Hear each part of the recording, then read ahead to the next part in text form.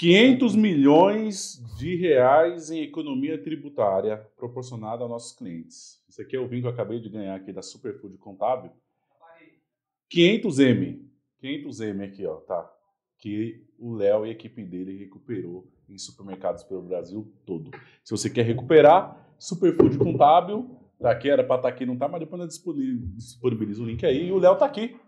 Fala aí, Léo, como é que foi esses 500 milhões aí, rapidamente? Pra começar Olá, pessoal, bonito, né? tudo bem? Já Mais uma vez aqui. aleatória mesmo. É, sim, sim. Na verdade, aí até tá escrito aí também, esses 500 milhões não é recuperação. Esses 500 milhões é de economia mensal gerada. né? Então, o cliente que entra aqui, ele economiza, por exemplo, 30% do, do que ele pagava antes de imposto. Ainda tem recuperação ainda. Fora a recuperação. Vai, se vai só- passar de um bi já já. então. Ah, se somar com. é, isso daí é desde que a Superfood existe, né? Então, em torno de sete anos aí, é, nós geramos esses 500 milhões de economia mensal, né? Somada. Se somar com tudo de recuperação, passa de um bi mesmo. Legal. Parabéns, parabéns. E eu ganhei o vinho. É isso. O Dimas aqui ganhou o vinho também. Mostra o seu aí, Dimas. Ó, pessoal, meu vinho de 500 milhões em aqui como, como o Léo falou, em economia. Às vezes é muito focado em vender, vender, vender, mas poxa, deixar de deixar de pagar é muito mais eficiente, né? Pô, você economizar um real, então aqui olha quantos um reais se economizaram durante sete anos por fazer gestão, medir, controlar, otimizar e pagar o imposto certo. Porque é, é- vale salientar, né, Léo? Não é que você fez butreta, é 500 milhões em economia fazendo certo. Exatamente. Não é joguinho, jogada, é tipo, deixando de errar, sendo eficiente, sendo assertivo. E vai muito de encontro ao nosso, nosso podcast, né? Que é mostrar para o dono de mercado que é possível você ganhar mais dinheiro com histórias verídicas de dono de mercado. Exatamente. Só, só que o dono do mercado precisa saber também, ter ciência, que às vezes ele não tem noção do que ele tem para economizar e ele não sabe. E como é que faz isso? Através de pessoas qualificadas, é, contabilidade qualificada, para fazer, esse- fazer esse papel. Aí ele fica amarrado com medo de um monte de coisa. Então, se você quer saber como está a sua empresa, que você, você quanto você tem para recuperar que você nem sabe. Eu tenho um restaurante, inclusive o Léo cuida do meu restaurante. Restaurante, cara, que ele estava no Cine Nacional. Eu, eu jamais. Eu, ele coloquei pra ele aqui, ele falou: Zé, você tem 100 pau aqui pra, pra gente. Gente é, de recuperação. Falei, sério? É, eu jamais imaginava, entendeu, cara? o espumante e eu ganhei o vinho? Então, que ele só, só, só tinha um espumante, não, dá consegui, mais não, não conseguia dar. Tá não conseguia aqui, dar- dar três O prêmio é de acordo com a cota de arrecadação.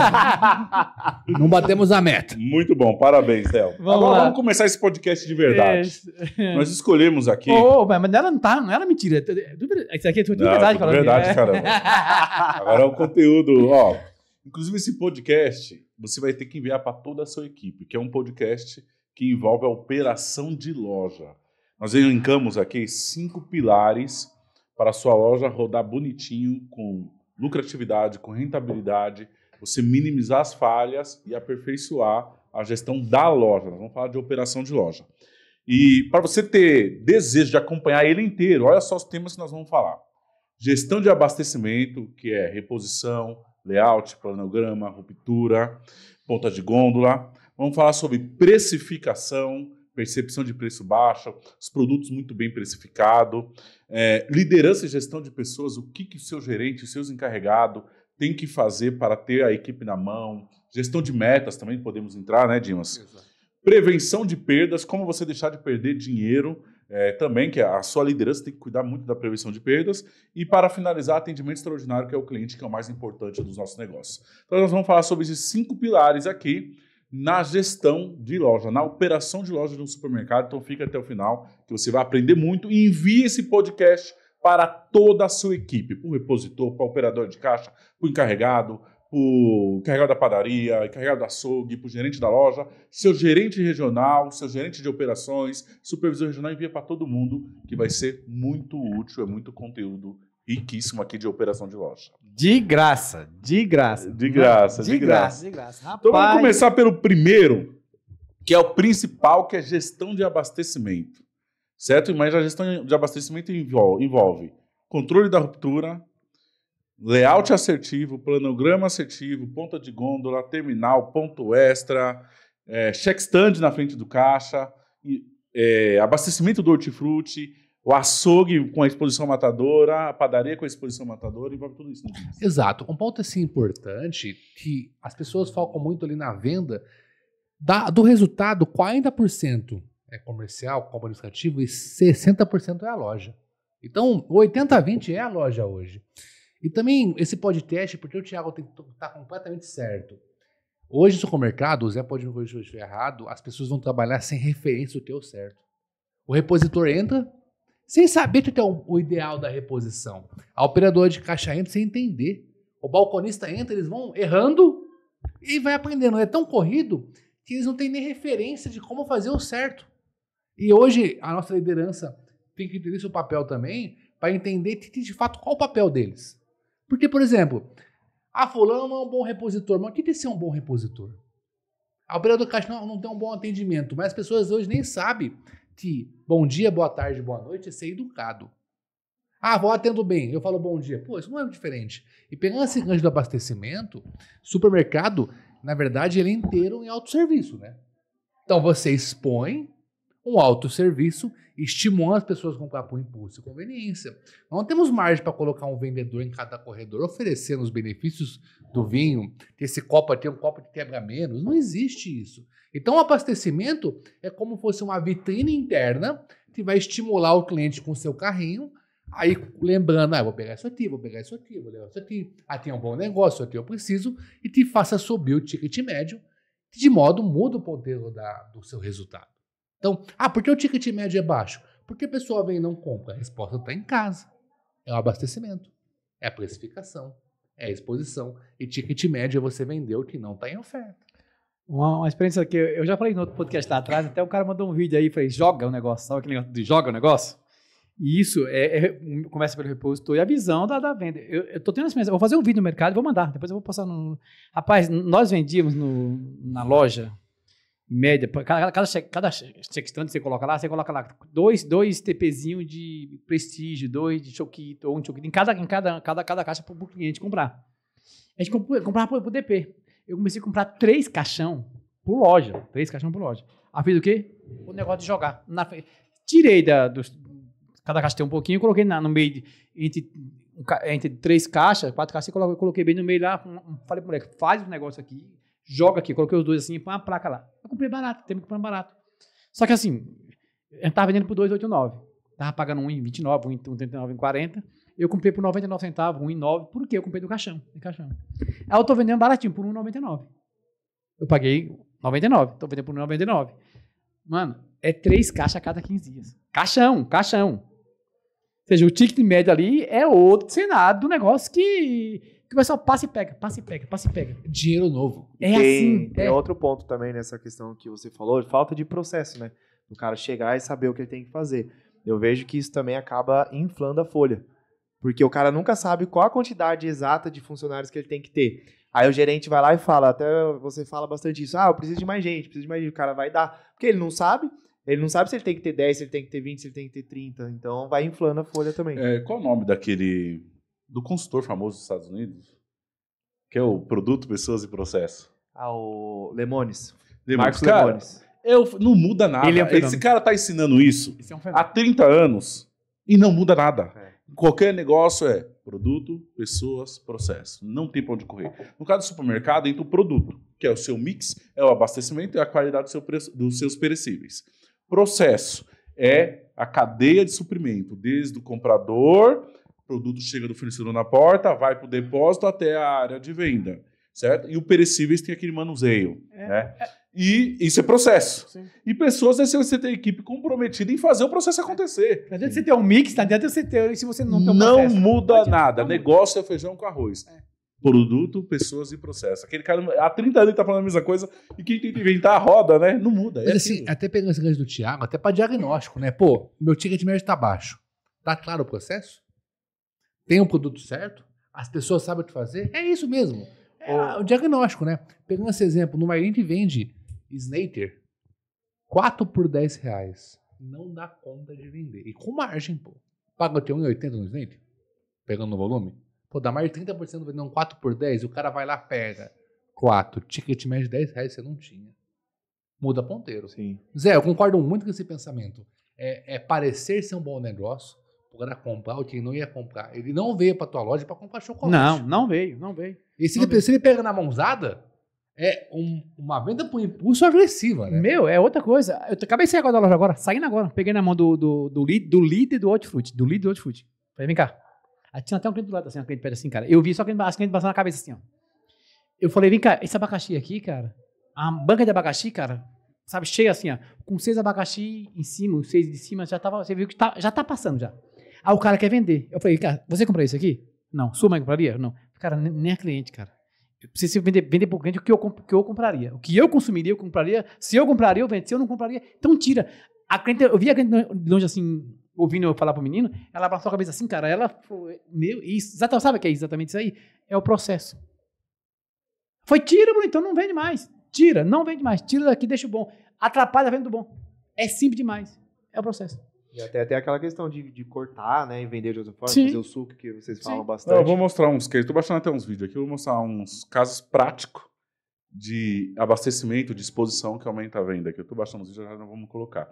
E a- o lance que envolve também a operação sobre abastecimento está até ligado até o comercial. Porque o que acontece? Em cada categoria, existe vários fornecedores. Você vai pegar na categoria de molhos. Você tem Heinz, você tem a Cargill vendendo Tarantella e Pomarola, você tem a Quero, você tem Elefante. E tem aquele fornecedor que é o que dá mais lucro para a loja. Mas quem sabe isso? Quem analisa os números? É o comercial, é o compras. E aí o compras tem que estar alinhado com a operação para quem? Para quem vou dar mais espaço? Para quem vou dar ponta de gôndola? Para quem? Porque você tem que entender uma coisa. Existe o mix de um supermercado e existe um mix que o supermercado quer vender porque é interessante para nós. Sim, sim, sim. Nem sempre, e, e- e muitas das vezes o dono do supermercado ele deixa o mix dele aleatório. Mas às vezes. Não é Thiago, pensado aquele mix. É, mas às vezes, Thiago, a, a, a comunicação que, que não tem do comprador, do, do, do comercial com lá embaixo, que fala assim, "Ah, isso aqui é importante, isso aqui. Se, se não passa, o cara não sabe, o cara tá ali só vem colocando e isso- simplesmente por colocar. Mas, ô, Zé, Mas isso é um- se, isso é um se tem essa ponto- comunicação é precisa, que é o que eu vivo hoje no meu mercado, cara. Eu, eu sofro um pouquinho. Quando eu vou pra cima disso aí, o negócio é, é fato isso. Esse mês agora, a gente tá fechando aqui com. Eu fiquei, sabe, revoltado esses dias atrás aí. Desci, pra loja, descendo. O máximo que eu posso descer, eu tô descendo pra loja. A gente vai fechar um mês com 3% de crescimento na rede toda. De, de venda a mais comparado com, com o mês passado. 3%. 3% no mês. Ou seja, é um puta de um. de sim, um- de um- de um- sim, sim. mas é simplesmente por isso aí, ó. Porque eu faço parte do comercial e eu tô empurrando, descendo pra loja lá e chamando os caras pra fazer é, essas ações que interferem no final o resultado positivo, cara. Inclusive na margem. Porque assim, o raciocínio. Um Inclusive erro na margem, muito, um erro- vendendo o que está interessante. Exato, um erro muito comum, sobe a oferta. A pessoa da loja quer vender. Aí ele pega o ovo que tá ba- quase no custo, coloca na, na entrada da loja, coloca a cerveja na entrada, pega a primeira ponta de goma, coloca o refrigerante. Lá atrás eu já vi oferta de coxa sobre coxa, não tem margem isso. O cara tirar do balcão do açougue, fazer embalagem de 3 quilos, deixar embalado na ilha, pro cara falar assim, não, O cara nem no açougue. como vende muito, pra não dar fila, eu vou botar aqui na ilha pra poder o cara a trabalhar. Aí falou, nossa, vendeu tudo, acabou meio-dia. Mas só vendeu, ó. Mas só vendeu a oferta. Mas na cabeça dele ele fala assim, pô, chefe, pô, a loja tá bombando. Ó, acabou a coxa sobre coxa, acabou o produto. E ele não tá errado, ninguém falou isso aqui é pra arrastar o cliente. Acho que as pessoas têm que entender que a gente faz oferta pra não vender a oferta. É. Eu quero vender o restante. E se você não fala, o errado foi a gente. Então você falou, Zé, pô, eu quero vender outras coisas. Então até o Thiago falou, pessoal, isso aqui entrou na oportunidade, a margem tá boa, vamos expor melhor. Porque vender, ó, duas coisas, pessoal. Anota esse, esse corte. Vender barato e perder dinheiro é muito fácil. Vender barato e perder dinheiro não precisa de muito esforço, não. Não. Agora, vender certo e com margem é precisa de gestão que eu estava falando aqui. Com certeza. Deixa eu mandar um abraço aqui, se, se eu pegar o gancho Pode aqui, cara. aí, um abraço pro meu, meu amigo Mauro, que veio lá da Bahia, passou comigo uns dois dias aqui na Feira da Avas aqui. Foi muito importante, muito, muito impactante o dia que ele ficou com a gente aqui. Depois eu conto aí o que aconteceu aí, mas foi muito top. Mauro, abração, cara. Tudo de Abraço, bom. Pra você e pro É. seu pai. Então nós estamos falando aqui, falando aqui de um abastecimento assertivo. Não é simplesmente abastecer. Abastecer sempre em todo supermercado é abastecido. Sim. Só que é aquilo, é abastecido com aquilo que vai trazer rentabilidade? Porque existe o seguinte, o, o Zé, você que atua muito no comercial, quando vem uma determinada negociação, geralmente a negociação vem para uma demanda que você não tem. Então, assim, o fornecedor quer tipo três vezes a mais do que você Sim. compra. E aí entra você criar essa demanda no ponto de venda. Sim. Pra pra- porque senão você- essa negociação vai virar um problema financeiro. Porque você vai comprar três vezes mais que você não precisava. Sim, sim, se você sim. não escoar no ponto de venda, você não Tá. se ferrou. Sim. Então é ação. Aí depois tem que dar de graça do preço de custo pra sair. Isso! Aí você termina, fez, achou que fez um puto do negócio pra ganhar um bom dinheiro. Sim. Tem que dar de graça pra sair lá, pra, pra sair do prejuízo, pra não ficar no prejuízo pior. E termina, deixa de vender a coisa que tá dando lucro. Então, assim, meu, comprar é muito gostoso. Me dá a tesão de comprar, é, é, ela- a adrenalina lá em cima, sabe, cara? Porque você já compra um negócio, pensando já, vou comprar, vai, vai pôr na conta por, por tanto, vai vender, já pensando no- lá embaixo como vai ficar. Então, essa comunicação tem que sair de você e chegar lá embaixo, entendeu? Aí funciona. Senão você faz isso que você falou. Você compra e depois e trava lá e o negócio. Aí você não- começa a queimar com preços de custo e já era. Acabei de fechar hoje uma tonelada de salsicha Seara. 4,14. Ou seja, é barato. Quem compra isso aqui é barato. Não, barato, É barataço. barato. Não é o preço. Pra pagar sabe quantos dias? 90 dias. Show. A Seara tem esse sistema. É o cartão especial dela, O né? cara me ligou, aí eu falei, meu, pode mandar, tonelada. Só que põe, põe na loja só, eu falei, põe, eu transfiro, beleza. Cara, o preço normal é 7 cacetada. A ganhar na compra. Ganha. Só que é o seguinte que eu vou fazer, eu vou baixar o preço, não, um realzinho só, então. Tá vendendo por 11 conto, eu vou colocar 9,99 e vou distribuir, vou forçar a barra dela de segurar um pouco a compra das outras, que tá me dando 100% de mais, cara. Toca para o negócio, vambora. Não vou colocar 5,99, aí não dá. Não tem como crescer sem risco. Esse é um risco bem, bem moderado. é quase, sim, sim. quase nulo, né? sim. Porém, se a informação ficar presa em você, a Seara que menos vende. Pô, comprar errado. Aí o cara vai botar no canto, no canto vai chegar um ponto que ele vai virar FIFO. Aí o teu lucro na compra vira prejuízo. Exatamente. é. É, então nós falamos aqui, vamos organizar o pensamento aqui. Primeiro, sobre você ter um abastecimento estratégico baseado naquilo que te traz lucro, alinhado com o comercial, Alinhar comercial. Se não alinhar, ferrou. certo? Dando muito valor ao seu espaço de, de loja, certo? A sua ponta de gôndola, aos seus pontos extras, ao seu espaço na gôndola comum e à sua exposição matadora. Ponto. Esse espaço seu tem muito valor. Então você tem que abastecer ele de forma estratégica. Qual produto está me dando mais lucro? Qual produto me dá mais margem? Qual produto vende de forma mais tranquila? Ponto. É, agora vamos falar também do. Primeiro nós falamos sobre abastecer, agora vamos falar sobre como controlar rupturas no abastecimento. É, um relatório muito importante que você pode tirar que são produtos que, que- tem que ver primeiro qual é a comunicação. Qual é a comunicação com o seu recebimento, com o seu comercial? Porque muitas vezes o gerente da loja não sabe que chegou um produto e está lá voando e não abastecido. Ou você tem uma comunicação manual de tudo que está chegando, ou você usa relatório de sistema. O gerente vai lá, imprime tudo que chegou hoje e vai delegando para os repositores encarregados de loja, vir puxando para a loja aquilo lá. Porque acontece em todas as lojas, acontece de produto estar no estoque e não está na área de venda. Hum. Isso eu estou falando do primeiro abastecimento, que é quando a mercadoria chega. Depois tem o reabastecimento. E, e é um negócio que está na mão do repositor. Como é que você controla isso? Aí entra aquele relatório com produtos X dias sem vendas, né? Você pode colocar a, 10 dias. ou três dias já começa a, a, a cair para três, cinco, dez dias sem venda que você tem estoque. Aí você começa a tirar lá, lá do depósito para dentro. Lá no SETA, nós contratamos uma ferramenta hoje, que é uma ferramenta que só atende gigantes, que é da GIC Brasil, que é o Hub, que ele monitora o, a ruptura. Então, por exemplo, se esse vinho ele vende de 5 em 5 minutos, passa uma garrafa, se deu 5 minutos ele não passou, apita no coletor. Caraca. Aí, que, quando que ele para de apitar? Quando você resolve. Quando que ele tem que se resolveu? Um ser humano foi lá pelo código barra, pip, problema resolvido. Enquanto não vem um aqui e apita o código de barra, é sinal que ninguém encontrou o produto ainda. E aí vai subir na alçada. Então tá no repositor do corredor de bebidas, apita no dele. Encarregado, gerente, até vir na diretoria. Legal isso aí, não sabe Então, não. É, meu, é, é muito foda a ferramenta. Por quê? E começou na onde? Nos atacarejo. Por quê? Porque o atacarejo deixa os produtos no aéreo. O produto fica lá. Acontece até nos grandes. Só que o Atacarejo também tem, tem um negócio que ele, eles conseguem, ter um, ele tem inventário constante. São gigantes, cara, tem inventário constante. Isso Ah. ajuda muito, né? Ô Zé, eu tenho. Tô. Tá funcionando, já tô rememorando, eu tenho uma empresa de consultoria de price, né? O que o Thiago falou, nós temos uma ferramenta, não dá no mesmo cinco minutos, mas que a gente pega para olhar a questão de ruptura, a gente vê a cobertura de estoque em 90 dias, vê a média diária e vê o giro de estoque. Então, se tem um giro de estoque menos de 10 dias com média diária, a gente fala, vai dar ruptura ou já deu ruptura. E de acordo com a curva ABC, a gente define qual o grau de ruptura. Mas, porém, agora ela fala assim: essa mercadoria aqui, ela vende em média 5 unidades por dia. Ontem não vendeu 5.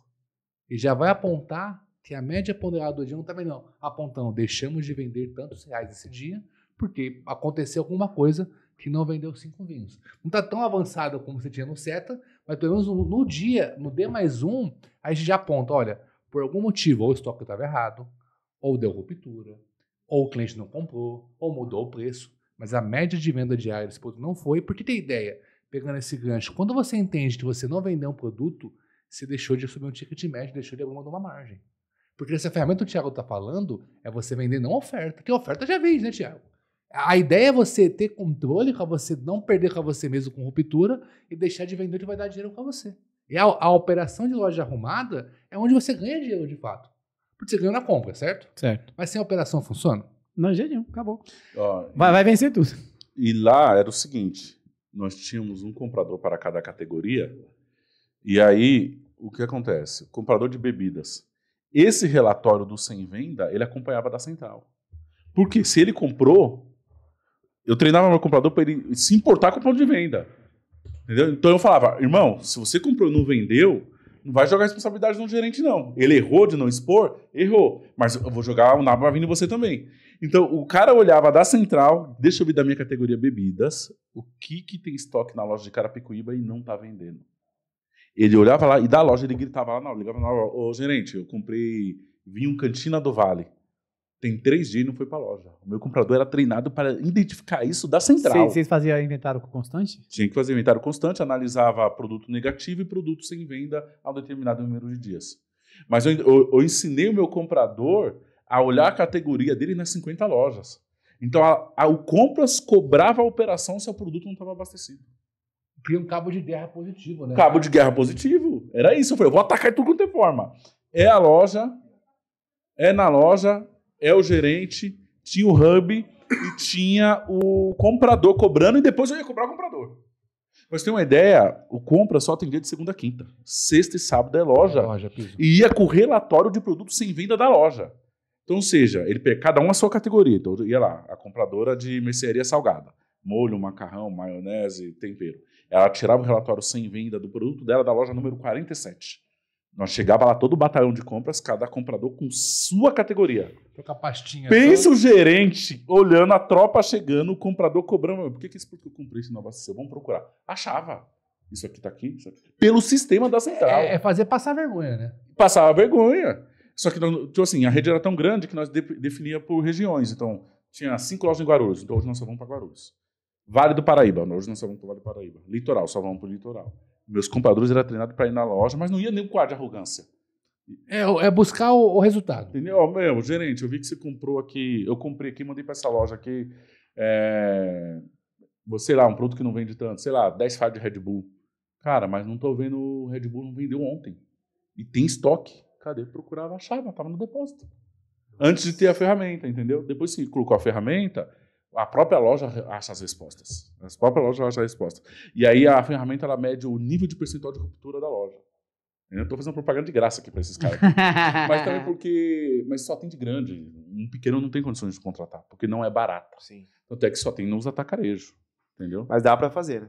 Tem outras soluções aí, como você falou que já era feito, né? O cara ia lá e tinha um processo desenhado de alguma forma, lógico não tão automatizado quanto a ferramenta. Dá para fazer no relatório do sistema. Mas funcionava. Dá para fazer, dá para fazer. Não em tempo tão curto, mas dá para fazer tranquilamente o dono do supermercado. Ó, é só fazer aqui, ó. Trabalha no relatório de produtos sem vendas, produtos com estoque e sem vendas. Trabalha eu falo nisso. isso porque eu acho que o pessoal tem muita dificuldade, dono do supermercado, de saber, ah, eu tenho que ter um processo, mas o que é um processo? Da onde eu começo? Da onde eu tiro isso? Qual ferramenta eu uso? É um papel? É um Excel? É um sistema? Eu tenho que contratar alguma coisa?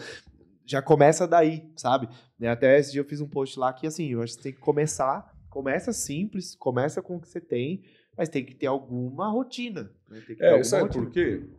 Porque é um negócio que você depende muito do ser humano. E é muito escal. É muito. Cara, e tá na mão do seu repositor. Meu, então, se você deixar isso ser controlado dessa forma, é dar muita mão para. E era fato, tá? Os caras dessa empresa, eles vendem como? Eles vendem como? Eles chegam na, chegavam na gente falando, quanto você acha que tem de ruptura, é, qual o nome dele? Ruptura com estoque? Tem um nome certo, mas perder Tem com você certo. mesmo. É perder com você mesmo. É, ruptura que você tem um produto dentro de casa. Ruptura operacional. Ruptura operacional. Cara, e você chutava, não, minha equipe é boa. Eles estão vendo tudo que tá no estoque, tá abastecendo continuamente. Cara, você falava isso, você falou, então peraí que você vai ver. Quando eles implantaram no primeiro dia, o que aparecia de produto no nosso estoque, não estava na era de venda, não está escrito.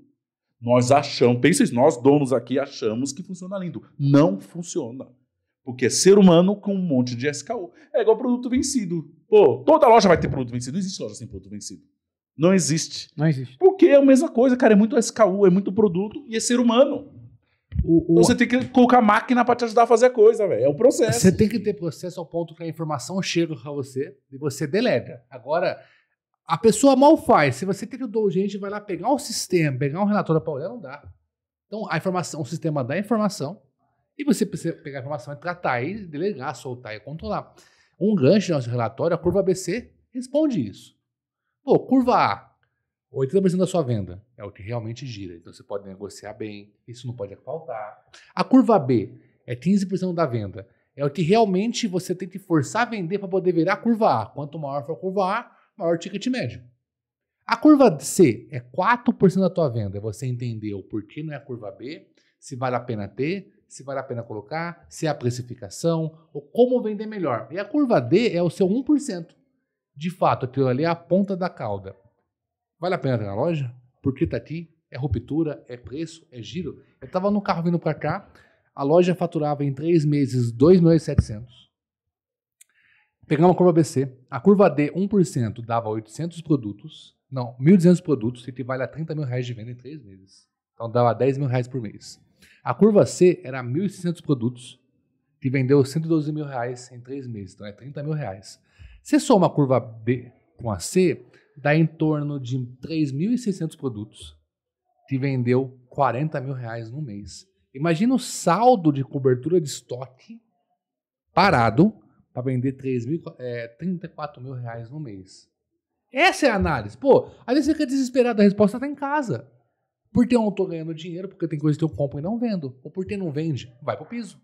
Quando você vai pra loja, você começa a perceber, esse preço tá errado, a placa tá errada, Direto, eu comprei direto, errado. É direto. visual a Isso resposta. é abastecimento. Isso daí é é abastecimento. É lá que você ganha dinheiro. Pô, em vez de você ficar olhando, não, meus 10 primeiros itens é o pão francês, é o filé de frango, é o assim. Irmão, vai olhar pra baixo. Olha pra ponta da cauda. É lá que tá a resposta. Pega a curva D, é simples. Você vai pegar um relatório de venda no mês, por produto. Você vai puxar de baixo pra cima e vai somar 1%, somando a participação, deu 1%. É lá que tá a resposta da sua E ineficiência. às vezes, né, até falando isso, um caso prático aí, de um cliente em comum aí, que ele tava falando, né, poxa, agora eu preciso, né, o pessoal tá me indicando aí de colocar os naturais, né, é, cliente dos meninos aí também. E eu falei, não, pô, é legal mesmo, né, eu vejo aí uns clientes que tem, bacanas, né, e aí, pô, mas tem que achar o lugar, né, porque eu fui lá, tava na loja, né, tem que achar o lugar agora e tal. Eu não sei se eu tô falando bobagem, mas às vezes, favor. tirando esses 3 mil itens que você falou, não é possível que não vai sobrar espaço, né. Esse daí da compra com prazo de 5 dias ainda. de pagamento. Cara, eu não- vou falar quem é essa. 500 pau parado. Comprando com 5 dias de prazo. Falei, tá Sem aqui. margem. Sem, não, e Sem margem. Com margem de 12%. Meu Deus. Que tá Não, é me ensinando. 14. Sério. Eu não posso abrir aqui. Eu sei quem é já. Cara, 14% de margem na mercearia Quem coloca um preço? Como, como- como que ele vive? é rede. É rede não, vamos ajudar ele. Ah. Estamos ajudando já. É, tava automático. Rede associativa, só, ele, ele se- seguia somente a rede. E conseguia pa- pagar as contas e sobrar dinheiro? Tá desesperado, cara. Ah. É loucura, mas enfim. Sim. Mas tá, tá, vai resolver. A resposta tá, meu, tá parada a mercadoria. Quando eu falei, ele falou assim, meu, eu fico triste por você e feliz por mim. triste de você perder muito dinheiro, foi isso que eu já identifiquei o problema. Sim. Gravíssimo, cara. É, o espaço da, de qualquer loja, seja enorme, ela é limitada, né? Eu imagino assim, então você tem que... Cada espaço tem que ser bem aproveitado. Mas, ó, né? pegando Ó. esse... Thiago, só vou interromper. Pegando esse gancho, 5 pau metro quadrado de venda. Caraca. Quando É, você vê de Mas fora... também com uma margem dessa, vende muito, muito mesmo. Quando você olha só um indicador, você fala, loja excelente. Produtividade, 55 pau por cabeça. Por isso, tá vendo que nem sempre. Os, os indicadores- indicadores maqueiam, porque às vezes tem um tá tão ruim que os bons não conseguem financiar o erro. Sim. Quando você vai olhar 5 pau metro quadrado, produtividade de 55 mil, participação de perecível de 50%, essa loja é ruim? Parece ótimo. A loja é ruim? Ah, o cara tá comprando com cinco dias. Esse cara tá capitalizado. Aí quando você olhar o contexto, tá um. Tá um O pesadelo. fornecedor de hortifruti paga quantos dias? Ele tá com 21 ou 28. Ah, menos mal. Mas tá tudo perdendo com uma perca altíssima. E o açougue só vende oferta. Aí ele começa a completar. ele- pessoal, quando você completa a caixaria na oferta, você tá perdendo dinheiro. Eu nem precisa falar a É. margem. Aí ele quer. Ele, Ele tem que agradar o cliente, aí ele compra a caixaria cara e perde a margem na oferta pra poder agradar o cliente na E é onde caixaria. tem que ter margem, né? Porque Que é a mercearia financiar. tá lá embaixo. Porque Você- a Mercedes tá lá embaixo. Você quer saber o pior? Ele, ele cria um vício no cliente, cara. Quando ele não faz, o cliente para de comprar. Porque ele fica mal acostumado, cara. É, que na verdade você atraiu o cliente ruim. O pescador. Esse, é, você atraiu esse, por isso que ele para. Mas é isso. É, é que nem, por exemplo, a curva é, C e D que o Dimon estava falando, é tipo um vinho aqui, o do do Léo vende bem, tá? É tipo, esse produto vem 12 na caixa, mas você só vende dois por mês. Aí você não tem controle, você fica comprando a caixa todo mês, né, Dimas? Mas você só vende dois. Não, vai comprando, vai comprando no automático, porque o, o vendedor, como tem a frase que você fala, o vendedor é treinado Pra pela indústria para tirar o estoque parado da indústria e botar no seu mercado. Exatamente. Aí você não controla e você vai só tirando um pedido, o cara falou assim, ó, trim, trim, positivei, positivei. Aí quando você vê, você fala, mas por que eu comprei tudo isso? Ah, mas eu penso uma caixa por mês. Aí 12 meses tem 12 caixas no estoque. É isso, entendeu? Ah, e o dinheiro do cara tá parado lá. Né? Deixa eu mostrar um exemplo de abastecimento. Eu mandei pro Wellington para vocês verem. Eu também mandei, O exemplo do bom da exposição e operação de loja muda tudo. E essa loja que eu vou te mostrar, ela tinha venda de padaria e confeitaria entre 2,5% do faturamento. Depois que eles fizeram esse, essa mudança na exposição, na frente de loja, foi para 6,5% do faturamento desse setor dentro do supermercado. Coloca aí a ideia que eles fizeram. E eu vou mostrar depois outra loja que teve a mesma ideia que vende horrores também. Olha essa sacada aqui, já vai valer todo esse podcast. Olha aí. Mostra aí, olha. Na entrada da loja, Dimas, em vez dele fazer o famoso corredor polonês, Ele fez a venda por impulso. olha lá. Não, mas também é venda por desejo, com margem.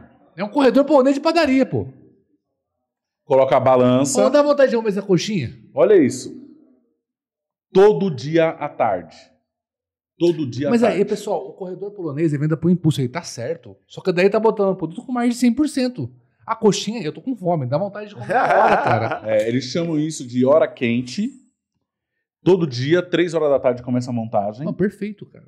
Coloca a balancinha, um funcionário, um mesão e pau. Depois que mudou isso, e, e o melhor, depois o cliente testa o produto, ele compra lá no, no setor mesmo. Porque ele, já, ele, ele- ele ganhou, um- de fato, ele ganhou um freguês. Ganhou freguês. A venda por impulso fez o cara conhecer e ganhou freguês. Essa mudança subiu 4% a venda da padaria da loja. Ô, Ed, você consegue mostrar Essa a curva? Ah, mostra o seu vídeo depois, Eu- depois do Thiago. agora vou mostrar em outra. Essa outra loja, ó. Essa loja que nós mostramos ali vende mais de 3 milhões, é uma loja de 500 metros, é uma loja excelente, a que nós mostramos. Essa aqui é outra loja que é fantástica e teve a mesma ideia. Mostra aí, Wellington. É a mesma ideia. Olha só. Olha o tanto de cliente aí na fila.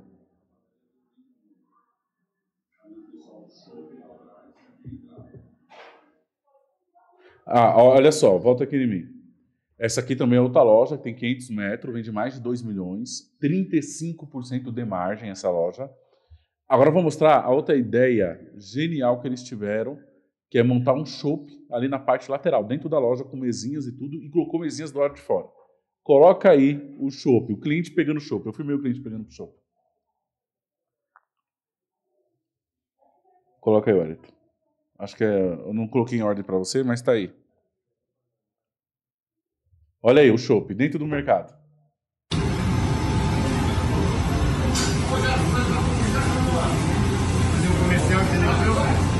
Tem Brahma e tem Heinz. É uma loja de quantos metros? Boa. E eu vou falar quanto que ele vende. Acho que eu falo isso porque a gente vai falar. Do né? lado da padaria do serviço aí, ó. ó. O cara pega, aí ó, a hora quente que fez, as mesinhas tá aqui, leva pra fora, tem mesinha do lado de fora. Legal. Mostra agora as mesinhas do lado de fora, velho, pra você ver a loucura que é à noite. Ó ó A calçada da loja. Vira um bar a loja à noite, velho. E na hora que eu saí, tava lotado. Saí tava tarde ainda. Eu saí uma hora à noite. Aquelas mulheres que estavam ali, elas passaram três horas lá. Tome chopp. Pegava, comprava mais, saía. Comprava mais, Aí saía. depois paga e, e vão lá, pega, paga e vai ter tudo. Paga e vai pra fora. Só sai pago. A- Onde que é isso aí? Isso aí é no Rio. Essa loja, ele vende, o dono é meu amigo, ele vende 70 mil reais de chopp por mês com mais de 100%. Então, dos 70 mil, ele tem um funcionário para ficar pegando, é 35 mil de lucro. E o funcionário lá só enchendo para os clientes. Os clientes pegam, come, toma dentro e toma fora, aquele, aquele monte de mesa na calçada, pediu liberação para a prefeitura, colocou duas TV. A loja vira happy hour, happy hour. Ticket médio alto, 3 horas de shopping, cada um deve gastar uns 100 pau. Happy hour. Detalhe, nessa loja, ele é meio doido igual eu. Ele implantou pizzaria também, ele tem produtos naturais. À noite, ele colocou, tem o vídeo, ele fecha a loja um, um pedaço, ele colocou tipo um portão e fica funcionando a pizzaria, o shopping, tudo até meia-noite. A loja fecha e fica uma parte da loja aberta pro povo no happy hour. Por isso que o cara vende mais de 2 milhões com 35% de margem numa loja de 500 metros. Uma loja de 500 metros. Entendeu? Mas olha só, isso é execução de loja. Isso é. Entra no que nós estamos falando. Operação, abastecimento, tudo, entendeu? É construir. Ô, Ayrton, você consegue botar a curva ABC? Que eu mandei no meu outro número? Eu mandei umas 12 fotos também. Que é legal, né, Thiago? Você falou aí desse aumento de 4% da, das vendas da padaria, né? Às vezes o pessoal fala, ah, mas 4% do total não é muito, mas é interessante que isso daí provavelmente deve ter elevado a margem total. É 4% que dá dinheiro. O que é que eu te falo? A primeira loja que eu mostrei, ela vende 3 milhões e 400. É uma loja de 550 metros. É números extraordinários. 3 milhões e 400, 4%, você está falando de 130 mil de venda de padaria, cara. Uma margem de 50%. Com mais de 50%. Vai dar um lucro. Só fazendo essa mudança. Pegando e montando aquela hora quente na entrada da loja, consequentemente vende tudo. Porque o cliente começa a testar aquele produto e vira cliente fiel do, do restante. E detalhe, quando eu vou pro fundo da loja depois, a fila da padaria é gigantesca. Entendeu? É Só mudando isso. E outra, 134 mil com 70 paus de lucro bruto. Porque no mínimo é mais de 50%. Ele vende quando na padaria lá? Tava vendendo, acho que é 2 para 6, não foi? Participação. Saiu de 2,5 para 6,5. Para 6,5. Se ele subiu 4% de pontos percentuais, 130 mil, Salgado deve ter uma margem de 50%. Não, tô falando, a padaria dele fatura quanto? Falou? Se É ele só vende fazer 6,5, é só fazer 3,400 vezes 6,5. Deixa eu ver, 3,400. A, a operação, a operação é o detalhe que faz o cliente comprar um pouco mais. Se você não arruma esses detalhes. 220 mil de padaria. O que, que, que que faz você vender ou não oferta? É a precificação e abastecimento. O restante, o que o, a- o comercial faz? Arrasta o cliente para a loja. O teu marketing faz, arrasta o cliente para a loja. Mas se a casa não tiver arrumado, só vende oferta. E a margem cai. Exatamente. A margem cai. É o que essas duas lojas, que para mim são lojas muito sadias, é exemplo claro. Loja extremamente bem abastecida, perecíveis bem cuidado, agressivo na mercearia, mas quando chega, vende muito processados. Muito, que nem o cara vende da segunda loja do Rio. Tem o lance, criou o lance do chopp, tem o lance da padaria também na porta, igualzinho o outro, e a padaria dele representa muito. O do segundo é quase 10% de padaria. É muita coisa hortifruti cheio de processado. Tem o vídeo da loja completa. Vou postar no meu stories aqui, eu esqueci de postar. Processados de hortifruti, tem produtos naturais a granel. E aí ele chama pelo produto mais barato, pelo gerador de tráfego, e vende todo o resto margeado. No final, a margem dele bate 35%. que é Esse cara boa. não tem concorrente. Não, e perto dele tem Guanabara, é como se não existisse. Não tem concorrente. Porque entendeu? ele tá tão diferenciado que ele fala, ele vira referência. Então, com 35%, se ele falar assim, ó, equipe comercial, ele fatura 3,4 milhões? Não, 2 Não, milhões. o Segundo é, o segundo é 2 Se ele milhões. falar assim, pessoal, vamos queimar 1% de margem? Então ele fala 2 milhões vezes 1% vai dar 20 mil. Pega esses 20 mil reais e você pode escolher um produtos aí, uns 5, 6 produtos e perder um real em cada um. Ele tem pizzaria também. Eu vou mostrar essa cara da pizzaria que ele Perder um aqui. real em cada um. Ele pode vender 20 mil unidades perdendo um real em cada um, que a margem aguenta. Quer ver? Deixa eu Essa é a precificação eficiente. Olha, tu pode subir. Eu tava falando desse esse aqui é o exemplo, tá? É um faturamento de dois meses, né? Três. Dá 3 milhões e 30. A curva A, 900 produtos, equivale a 2,4 milhões de faturamento. Nossa meta é bater mil. A curva B, 1.800 produtos, a nossa meta é bater 1.600, equivale a 454 mil. A curva C é 1.500 produtos, equivale a 121 mil de venda em dois meses. A curva D é 1.300 produtos, equivale a 30 mil reais de venda em dois meses. Se você dividir por dois, estamos falando de 75 mil reais de venda para você vender 2.800 produtos. Olha a quantia de dinheiro parado que tem lá Fora o saldo de mercadoria sem passar pelo caixa 10 dias, que tem 3.259 itens que não passa pelo caixa 10 dias. Tá explicado o muito indicador. dinheiro. É muito dinheiro parado. Aí, pessoal, isso aqui qualquer sistema dá. Pode ser até o nosso lá, o NetWeb, isso aqui funcionava, cara. Autópsia. Autópsia. Qualquer sistema dá. Senão, Inclusive o Intersolid, super indicado aqui ó, por o nós. Intersolid consegue fazer de uma maneira muito mais automatizada. E você consegue. Se você olha esse relatório diariamente pelo Intersolid, estamos falando de você economizar pelo menos aí uns 100 mil reais por mês. E o Intersolid fica barato. Exato. Junta com uma boa contabilidade, fechou a conta. Uma a boa contabilidade para você controlar os seus impostos. Você economizar. Ganhar, Ó, ganhar um vinho desse por Imagina mês. só, se você tem um milhão desses 500 milhões aqui no teu bolso, você tem quantos clientes hoje? Uma média de 600 e pouco. Então, cada um pelo menos economizou 800 mil reais aqui um pelo outro. 800 pau de economia com a contabilidade. Eu não tô entendendo porque você tá fora disso. É que, não, é que o- tem coisas que o dono do supermercado tem como gasto e é investimento. E contabilidade foi um bom tempo visto como gasto. RP foi um bom tempo vi- visto como gasto, como despesa, né? E qual é a diferença de despesa e investimento? Despesa e gasto é aquilo que você é obrigado a pagar, mas não te traz retorno. Exemplo, o imposto é, é despesa, é gasto. Essa porra não traz retorno nenhum, porque você tem que pagar imposto, aí você paga segurança particular, convênio médico, escola particular para o seu filho, isso, isso, é, isso é gasto. Você gasta sem te dar retorno. Já investimento é aquilo, tudo, tudo aquilo que você coloca. Um para voltar 10. Dois para voltar 15. Isso é investimento. Então, uma boa contabilidade é investimento, um bom RP é investimento, marketing é investimento, consultoria é investimento, mentoria é investimento. Por quê? Porque ele te traz retorno. Essa é a diferença de gasto e investimento. Vamos mostrar as fotos rapidinho aqui. Falou Aí- tudo. Eu ia falar, já falou tudo. Já. Sei que contabilidade é, ela é um gasto quando ela é muito ruim, quando ela não te favorece nada. Quando ela, Exatamente. quando, quando ela te dá um retorno positivo e evita que você pague algo des- desnecessário, aí passa a ser um bom investimento. A mentoria, enfim. Tudo, tudo que volta É. mais que você paga é investimento. Exatamente. Pode subir, Wellington. Pode pular isso daí. Acho que foi errado. Pula. Pula. Pode pular, acho que foi errado essas fotos aí. Pronto.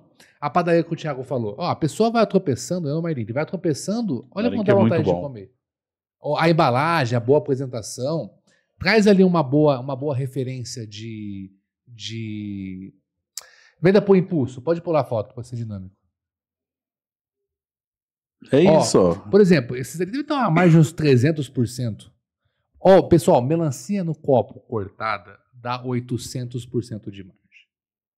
É possível. Porque a melancia grande você paga 12 reais. Você pode fazer 20 copinhos desses a 6 reais. Próxima foto. Ó, tem a, ah, tem a rotisserie também. Olha, uma coisa, por que eu essa foto? Olha esse feijão grandinho. Tá Olha essa carne, meu. Da- ah, Na hora da fome não é o preço, cara. Ó, Você e, pode ó, botar 25 reais. Em ambos, o material que o Dimas trouxe. Volta no anterior, Wellington. Volta no anterior que eu vou te mostrar. Olha o segredo. O segredo tá aqui, ó. O arroz, gerador de tráfego sem margem, o leite, mais o produto margeado. Fala, puxa, passa pro próximo. Você vai ver que sempre no fundo tem o leite, o macarrão. E, e pra ganhar dinheiro. É, é isso, É mano. pegar o leite. Aí É chega lá, isso, tem é isso, Exato. uma tentação lá, é. Próxima foto. Aí você já está repetindo. Olha o arroz lá atrás de novo, tá repetindo. É pego pela barriga. Por exemplo, esse- essas boas de milho. Meu, só que você pode ir com o Nossa, carro você bonito mesmo. deixar é, servir na sua mesa de café da manhã. Não é o preço, dá vontade de comer. Próxima foto. Tem uma que tá, tô até ansioso. Por exemplo, esses docinhos no copo. Isso era magia em copo chamava isso daí. Dá vontade de comer. Então, o legal disso aí, Dimas, é que é o seguinte: mas assim, não é simplesmente você ter uma mesa com um monte de produto na mesa. É a qualidade do produto. É, é você ser intencional, é fazer para vender. É fazer para vender. E não é fácil aqui para gerar uma qualidade assim. Não é fácil, mas Por você tem que exemplo, é olha, olha essa apresentação. Bonito. Não gera desejo para comer, então é fazer bem feito também. Por exemplo, quem é que faz esse pão não é o dono, não é o comprador, não é, não é o DP, é o RH, é o financeiro. É a balconista, bem alinhada, bem comunicada, bem treinada. Por que que separa esse pão sovado do restante? É o capricho. É o mesmo pão sovado.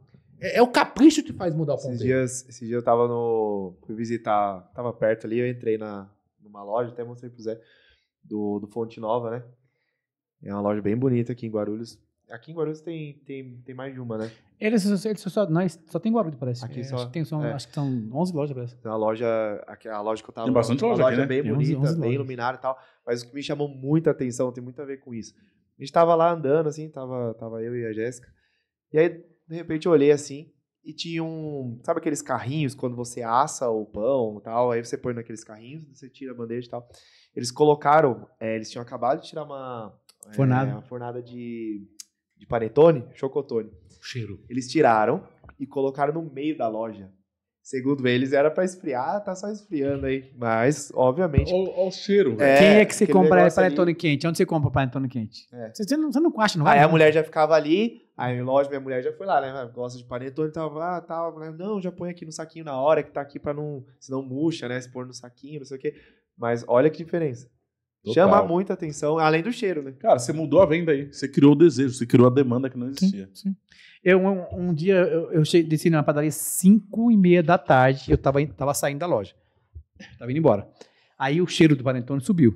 Eu peguei por lá, desci lá embaixo pra tomar um café rapidinho, voltei. Quando eu voltei lá... Desculpa. Aí vi o, carrinho...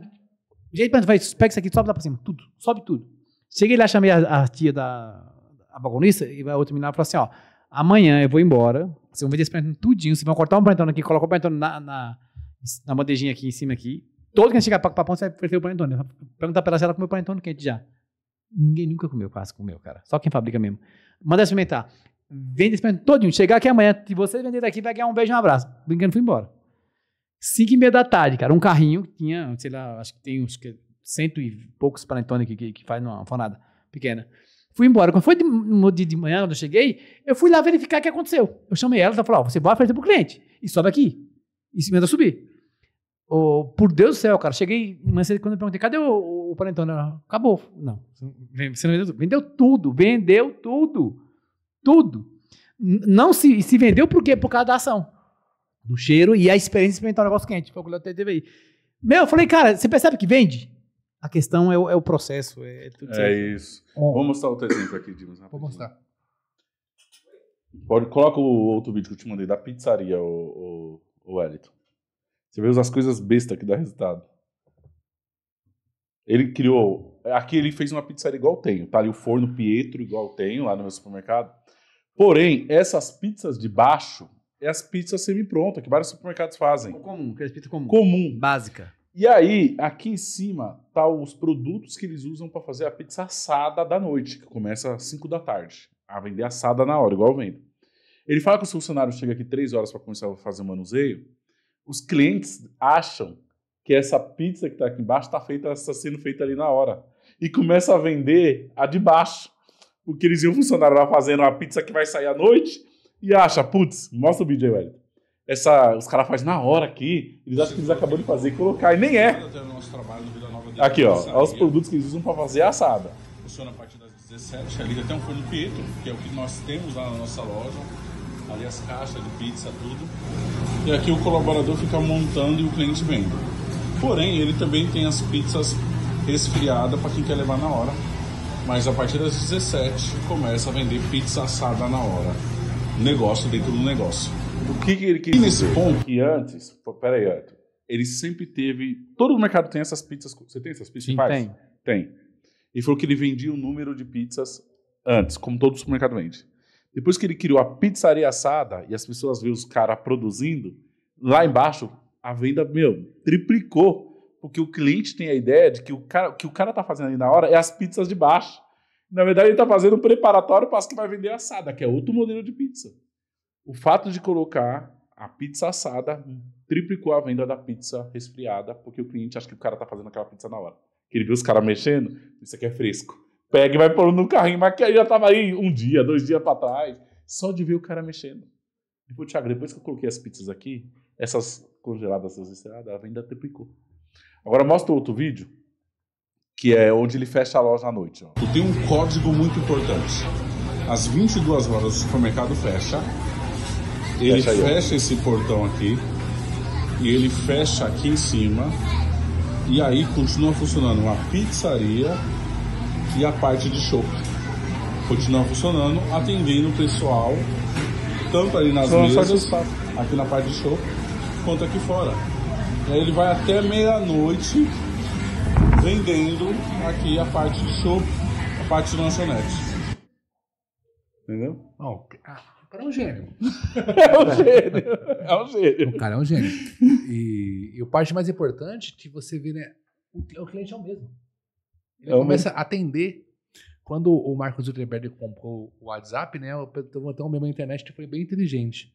Se o cara tem o dono do, do Facebook, é dono do Instagram, é dono do WhatsApp, se ele comprar uma empresa de colchão, ele vende meu dono. É quase igual o cara. O cara vende pão, açougue, padaria, hortifruti, mercearia, vende chopp, vende pizza, vende hambúrguer. O cara é quase dono do cliente, pô. É. Ele, ele atende toda a necessidade. Se as pessoas gastam 30% da sua renda comendo, ele tá mordendo 30% da tua renda, porque ele é dono do cliente. Mano. O cara, o cara- o cara atende a cadeia de suplemento do cliente. Muito bom. O cara é bom, o cara é bom. Diferenciado. Isso, isso- é, legal, é legal de ver, cara. É muito legal de ver isso. Muito cara. ousado. Nossa, é louco, mano. Muito ousado. Enfim, tudo isso aí nós falamos de abastecimento, de exposição, que é o primeiro ponto da operação de loja. Nós poderíamos entrar no jeito que expõe seu hortifruti, o jeito que expõe seu açougue, é, é material sem fim. Mas operação de loja, abastecimento inclui em ter um mix adequado, evitar ruptura e ter uma exposição matadora nos perecíveis, como nós demos aqui de exemplo. Certo? Vamos pro próximo tópico. Qual o próximo ponto aí? Próximo ponto, deixa eu ver aqui. Precificação assertiva. Precificação assertiva? Fala de precificação agora. Como que. A gente está falando sobre curva ABC também, né? Pegando esse gancho de precificação. No passado, era muito comum você colocar 30% em tudo, 40% na limpeza, e você só falava de markup no passado, porque não tinha concorrência, não exigia tanta, tanta gestão de fato. E agora a precificação assertiva que vai definir se a sua arrumação está comunicando certo para o cliente. Porque você pode pegar uma- a, melhor- a sua melhor ponta de gôndola, colocar o melhor produto, com o melhor abastecimento, mas se tiver caro, é como se fosse pegar um megafone para contar uma piada ruim. Tipo, nossa, essa aqui é a oferta deles? Queima. Eu costumo dar um exemplo que a pessoa. ah, eu lembro assim, claro. A pessoa vem no mercado comprar carne moída e sabão em pó. Quando ela chegou no mercado, ela viu lá na primeira ponta de gôndola uma cerveja Skol a 2,99 na latinha. Ela assustou. Quando ela continuou passando pelo corredor, ela vê a Coca-Cola 2 litros a 11,99. Ela falou, nossa. Ela continua passando, ela vê batata congelada 2 quilos a 28,99. Ela... Quando chega na açougue, ela vê a 100 sem osso, 32 reais. Quando ela vai comprar carne moída, tá 14,99. Barato. Quando ela volta para outro corredor, ela vê água sanitária 1 litro, 3,99. Ela vê detergente IP, 2,89. Sabão em pó Omo, 9,99, de graça. Quando ela vai passar pelo caixa, ela vê o bis, 6,99. Caixa de bombom Nestlé, 3,99. Quando ela fez a compra dela, ela comprou carne moída de 14,99, sabão em pó de 9,99. Tava barato ou tava caro o sabão em pó? Tá barato. De graça. Carne moída de graça. Qual foi a percepção de preço dela? Que é tudo barato. Mercado caro. Ela comprou as duas coisas baratas, só que o restante ela foi olhando, chama a cerveja, o refrigerante, o sabão em pó, o bis, a caixa de bombom, o A100 tava caro. O que ela foi comprar talvez estava em oferta. Sim. Mas qual foi a percepção? Só vale a pena comprar Que tá em oferta oferta. nessa loja. Porque o restante tava caro. E começa o erro de dono do mercado tentar recuperar o preço de oferta subindo o preço que não vende. Não há a loja que consiga mudar isso. Pô, bota tudo caro. A loja falou assim: vamos arrumar, tem volume. Mas quando você vai expor, fica evidente. Pessoal, não compra isso aqui não. É simples, pessoal. Nada que você consiga abaixar 30% para poder fazer oferta está precificado corretamente. Nada que você abaixa 30% na oferta, você precificou corretamente. Não É, existe você é. abaixar. A sua margem é 30%, como você abaixou 30% na oferta? Pega esse código aí que você vai mudar a tua cabeça. E é importante até pra você não, não, não- ter a percepção, de preço caro, que você tá caro, é você conhecer o seu concorrente, né? Então, assim, primeiro nesses produtos principais, né? Você alinhar Então, a régua de é- preço. é- aí você pode até vender caro, porém se o seu concorrente tá vendendo super caro, né? Então, É igual que o. então é muito importante isso Igual aí. que o Zé falou cuidado. da salsicha que ele comprou. Ele não baixou 30%. Não, não vou Não baixar. precisa. Não vou baixar. Não vou baixar. Não vou baixar. E outra, se Só vou você- baixar até pé de vencer, eu baixo. Mas assim, Zé, se você abaixa 30%, você mata todos os restantes. Você mata Perdigão, Sim. você mata Aurora, Sim. você mata Sadia. Aí valeu a pena? Porque você vende só ela, aí você paga o boi no mercadoria em casa aperta teu caixa. É assim, é, eu tava até falando com, com, com um menino hoje no Ceasa que tava, tava lá e tava me ligando. Eu falei, cara, ó, é, eu falei, já falei, falei sobre isso aí com vocês já e tô repetindo de novo, sabe? Qual é a ideia? Quando você faz uma puta de uma compra por causa da salsicha, quando eu pego que fiz a puta da compra e eu vou lá e eu, eu queimo o que eu consegui, eu, eu dou todo pro cliente, Quem ganhou foi a não indústria. serve pra nada, cara. A indústria ganhou, o cliente ganhou. Só você que não eu. Então, assim, o bom negócio é aquele que você faz, faz uma boa compra, você ganha na compra, não pra, pra, pra derrubar o preço lá embaixo, mais de 30%. Pra você ganhar em cima, né? Então, você faz um, baixa um pouquinho pra te realmente dá mais você baixar um pouquinho, mas você ganha ali, né? Você rentabiliza mais, sua loja sai, sai dessa média de 30% da loja que o pessoal sempre, sempre, sempre falou sobre isso aí, né? Você termina sa- saindo e vendendo barato. Então, assim, mas não É. precisa dar de graça, né? E quando nós falamos de precificação, tem os processos mais básicos, que é ter preço no produto, que o produto sem preço ninguém compra. E aí onde entra depende da loja, depende de processo, Sem depende contar de do risco também, rotina. da, que tem também. Depende, do, né? cara, eu fico louco É. quando eu vejo um cliente no caixa falando que lá na gôndola tava outro preço. É, Puta é perder merda, pra velho. nós mesmos. Sabe por quê? Então, eu acabei de ver uma mensagem aqui, você vê a gravidade disso. Se a gente não ensina, não coloca um checklist, não coloca um processo, essas coisas dependem da gente. E o pior, vou ler a mensagem. Boa tarde. Tive uma fiscalização do PROCON analisando os preços do arroz de 5 quilos e os integrais de 1 quilo, onde estamos dentro dos padrões. Segundo o fiscal, os preços mais baixou, mais baixou, é, mais baixou e deixou uma alerta para os demais notas fiscais de compra do arroz, separados no, casa, no caixa, caso houver questionamento, apresentar a nota fiscal de compra. Por quê? Eu acho. Não acho não, é verdade. Né? O, arroz, o arroz subiu no sul. Qual arroz nós mais vendemos Vida Nova? Panela? Mercado Velho. Mercado Velho. Aonde é plantado o raio do arroz para o Mercado Velho? No Vale do Paraíba. Sim. Que raio tem a ver com sul esse arroz? Nenhum. Nenhum. Claro, tem o preço da saca, tudo. O que estão fazendo? A especulação está tão grande. É que o dono de mercado começou a antecipar na compra, comprou barato, começou a repassar. Agora, trouxe o pouco Procon, que está atuando todo mundo. Olha a preocupação que nós temos de ter para não ser atuado e você não parar para você treinar a tua loja, treinar o seu repositor, treinar seu gerente, treinar seu equipe para você vender o que tem margem, porque o arroz já não dá margem. Se você ganhar na compra por estoque antigo, você vai ser atuado. Tá entendendo a gravidade? Exemplo, o arroz subiu o preço, não subiu? Não sei, me corrija errado. O arroz subiu o preço, o consumo vai cair. Se você fez a leitura começou a ganhar na compra, você tinha caixa, comprou antes da alta. Agora, se você tiver com margem alta por você ganhar na compra, você vai ser atuado. Porque você não pode manter sua margem alta por gestão financeira. Não, isso é o cúmulo. Ó, nós fomos visitados pelos Procons ontem na nossa loja. E eu tava com o Procon engasgado aqui. O Igor foi testemunha. Eu nunca vi o Thiago tão revoltado, porque ele desabafou. Tanto é que tem um criativo meu que eu falo do Procon. Porque na pandemia nós tomamos uma multa de 25 mil reais do Procon. É algo muito semelhante. E reverter, nem pensar. Porque eles Quais falaram são? que nós aplicamos preço abusivo na pandemia. E detalhe, eles mandou, o Estado, né, mandou lá para o Vale do Paraíba uma relação de produtos para você enviar nota fiscal de compra e cupom do PDV. Só que tem produtos que são regionais. Por exemplo, eu não vejo, não, nós não vendemos feijão que caldo, que é forte aqui na capital. Lá nem, o cliente nem sabe que existe. Arroz Tio João, lá não vende. São marcas regionais da capital. Nós estamos no Vale do Paraíba, quase duas horas de viagem. Nós temos outros produtos que dominam a região.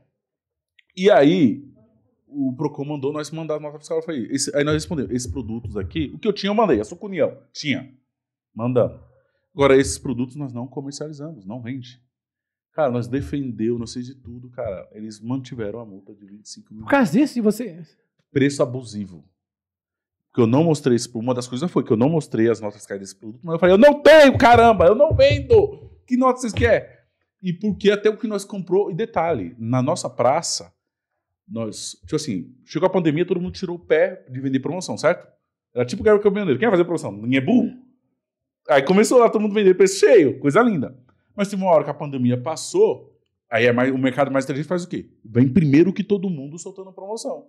Que todo mundo ficou. Nós fizemos isso. Então nós fizemos agressivo mesmo. No meio da pandemia, tinha umas ação comercial, vamos começar a postar oferta. E eu lembro que eu tinha no Facebook, chovia de comentários de clientes. Nossa, finalmente um supermercado pensando na gente, eh, fazendo promoção na pandemia. Que, que você saiu primeiro, é igual quando você pega um produto na baixa e você sai na frente. Nossa, leite, não, o mercado vendendo leite barato, você saiu na frente. Cara, nós fizemos isso, nós fomos o mercado mais barato da região na pandemia. E nós levamos uma multa de 25 mil reais. É algo semelhante ao que o Dimas está falando E o arroz. não quebrou isso, cara. Nada, nada, nada, nada, nada. Não defendeu tudo, nada, nada, nada. Próximo podcast eu vou trazer o boleto pago. Não, mas deixa eu só entender uma coisa que eu fiquei curioso. Eles pegaram marcas aleatórias e é, queriam que vocês vendessem aquela marca. Ele, pelo que eu entendi, ele não estava nessa época. Eles auditaram pro Thiago ser omisso de informação, como fosse uma omissão. Ó, vocês, eu pedi a nota fiscal do feijão caldo de caldo e vocês não mandaram. E na cabeça do Thiago tava mentindo que não vendia. Porque não viu a regionalidade, não foi isso? Não É. vejo na habilidade. Foi, foi por omiss- é, é, o- o puniram a gente por uma certa omissão. Como se tivesse que vender aquele produto. que Porque todo mundo venderia, vendia. porque a gente não venderia esse, esse feijão. E os outros produtos estavam com a precificação tá de tudo dentro. Tudo aí, dentro. Então, aí acho que faltou um advogado também, de bem, bem- porque assim, Pode porque, ser também. porque, porque o cara tem que falar assim, tá bom, então você tá me acusando que eu tenho esse produto aqui, então você vai vir aqui na minha loja, você vai, assim, porque ele vai vir cá, vai auditar, vai ver que isso não existe aqui. Porque não tem como fazer isso. Não tem como. Ou seja, não tem E os como. outros produtos estavam ok. Nada Sim, de sim. abusivo. Sim, nada. Mas assim, nesse Não, caso... mas, eu, eu- agora eu vou fundo. Ainda que fosse abusivo, foda-se, o mercado é meu, eu vendo o que eu quiser. É que aqui esse país é um Estado que é uma vergonha e quer fiscalizar o que a gente faz. O Estado não tem que porra nenhuma fiscalizar o lance do arroz. Esquece isso. Hum. Se eu vender caro, o meu cliente vai me rejeitar. Você não precisa vir fazer gestão do meu número de quanto eu tenho que vender o arroz ou quanto eu tenho que vender da pandemia. Sabe quanto é a sua Isso não existe. É. Isso não existe. Só existe num país de idiota, que é esse aqui. Entendeu? Ele colocar, colocar o valor do tributo pra você pagar, eles impõem, você tem que pagar. É. Agora, agora Devia botar isenção no arroz, né? É. Não, aí ontem, depois desse episódio, o pessoal do Procon foi aparecer depois da pandemia. Cinco pessoas na equipe. Aí, eu- aí eu descarreguei. Eu sei que eles não têm culpa, eles são, são peão trabalhando. Eu falei, nós somos tudo otário. Eu e vocês somos otários. E eu pago imposto, o meu imposto pagar o seu salário, para você vir me multar, e eu paguei um colaborador para cuidar dos meus produtos, seja que se ficou vencido, que é o que eles vão pesquisar. Se o meu colaborador fazer errado, eu paguei para ele fazer certo, e aí eu pago uma multa. Tipo assim, eu te paguei para você me dar uma multa. Eu paguei o peão do Estado para ele me multar. Eu falei, é Eu, financei, cúmulo. eu o meu erro. Vem cá. Eu, eu falei, é o Você quer saber, você quer, quer uma, Eu falei, isso é uma vergonha. É. Você quer saber uma época que eu tomei uma multa da fiscalização? Também, que não foi Procon, foi, foi, foi, foi Receita. Ele pediu pra mim, pediu pra mim os relatórios que, que venda tava lá. Aí falou assim: ó, seu, sua margem está abaixo do que o, o governo determina. Ou seja, no seu segmento você não pode vender com menos de, de, de que tanto por cento de, de margem. Aí "Ué, como assim? Eu tenho um, por Deus, eu falei, eu tenho um cara do meu lado, que é um gigante, que é o Nagum, não falei pra dele aqui, fez gigante lá, eu sou pequeno, trabalho com a minha família, trabalho com um monte de gente, reduzindo um monte de custo. O prédio, eu não, eu não pago aluguel lá, ainda bem que eu não pago aluguel, que é a minha loja lá. Aí eu coloquei o negócio para vender com uma margem menor, para poder concorrer com o cara. Eu tento, ou eu diminuo a margem para vender, ou eu não vendo, porque o cara dá de graça. O cara tem um poder absurdo, compra de carreta e mais carreta. Aí eu vou ser multado porque eu vendi mais barato. Que a margem minha, eu coloquei mais barato. Ele lembra, não pode que no, no seu segmento a- é price que o governo, a, do presumido, foi do presumido, presume que no, você tem que ter um- uma margem de 27%, sei lá, 27%. Fechou com 21, não. Tem que poder tomar multa. Como assim? Não existe Estado Não querer mandar, existe, velho. mano. Mas como Isso é só assim, país cara? terceiro mundo. Mas só assim, país ah, terceiro Só mundo. com o meu raciocínio. Você, se você ganhar na compra no arroz, eu venho te informar que você vai ter que abrir mão do teu lucro. Porque se Procon for aí, vai perceber que você é muito tá bom. ferrado. Você é muito bom na conta. você tem caixa. Aí você fez aí tudo no mercado. Comprou antes, mas esse dinheiro não é seu. Você tem que abrir mão do lucro. Porque senão você vai ser atuado. E a multa, é- e a multa é alta. Pra você tentar ganhar um pouco de dinheiro na compra, você vai ser atuado. Então, Isso não existe, velho. olha a A gravidade. gente, sempre, a gente sempre fala algo parecido com isso quando o pessoal começa a fazer estudo de kit. né? Então, é uma estratégia tributária também, né? Igual o McDonald's, ele tem lá a Coca-Cola e o lanche. O que, que ele faz? Ele, redu ele aumenta o valor da Coca-Cola, que tem substituição tributária, ou seja, ele não paga imposto mais, e ele diminui o valor do lanche, porque o lanche é tributado. Então, no final das contas, aquele fazer desse kit, esse combo que eles chamam, fica sai mais barato. No supermercado também tem como fazer isso, né? É possível, Sim, não, é, sim. não, é, não é ilegal. Só que aí, às vezes o pessoal fala, ah, mas se eu reduzir muito, né? Dá quase de graça, um exemplo, né? O lanche, dá quase de graça o lanche, e a Coca-Cola ficar no valor do combo. Falo, aí a gente sempre fala, olha, procura advogado especialista nisso, porque pode ter problema com o Procon. Então a gente já, já, já sempre fala isso já pro dono do supermercado. É, e assim, eu falo isso sem concordar, obviamente, porque, como você falou, eu, eu tenho a mesma linha de raciocínio. Se o supermercado é seu, se você quiser sair dando a mercadoria pros outros, foda-se. É seu, cara. Você comprou, você pagou. Não tem, é, sabe? É, é absurdo o governo querer administrar seu negócio. Absurdo. Mas se tiver quebrando, vê se o governo vai te dar um incentivo para você não quebrar. Não, ao contrário. Se você não pagar, vai, vai penhorar seus bens. Cara, é, é um nível, é um nível de fiscalização que as pessoas estão fazendo uma benfeitoria, ela tá criando uma conta corrente porque do couro sai É lacração. É, lacração é de pura. fato. Porque, se, por exemplo, nesse caso, eu tenho, um, eu tenho um- um- uma rede que eu atendo que ganhou na compra. Tem arroz para três meses. Pô, fez errado? Ele fez a leitura do mercado, ele tinha caixa, vai ganhar na compra. Eu vou falar assim, irmão, toma cuidado, porque se você tiver ver um ruído de visualização, vai tentar baixar os preços. Pagar o boleto dele, ninguém vai pagar, né? Antecipado, que ele vai pagar antecipado o Vai negócio. vendo. Aí o que vai acontecer agora? Ele fala, beleza, eu vou, do arroz eu não coloco, eu vou tirar outro lugar. Porque ele precisa ganhar dinheiro para poder manter a, a- a conta operar. Pra você ver como é grave. Esse, esse tipo de fiscalização, de atuação, se arroz é gerador de tráfego, ninguém vai tentar vender arroz caro.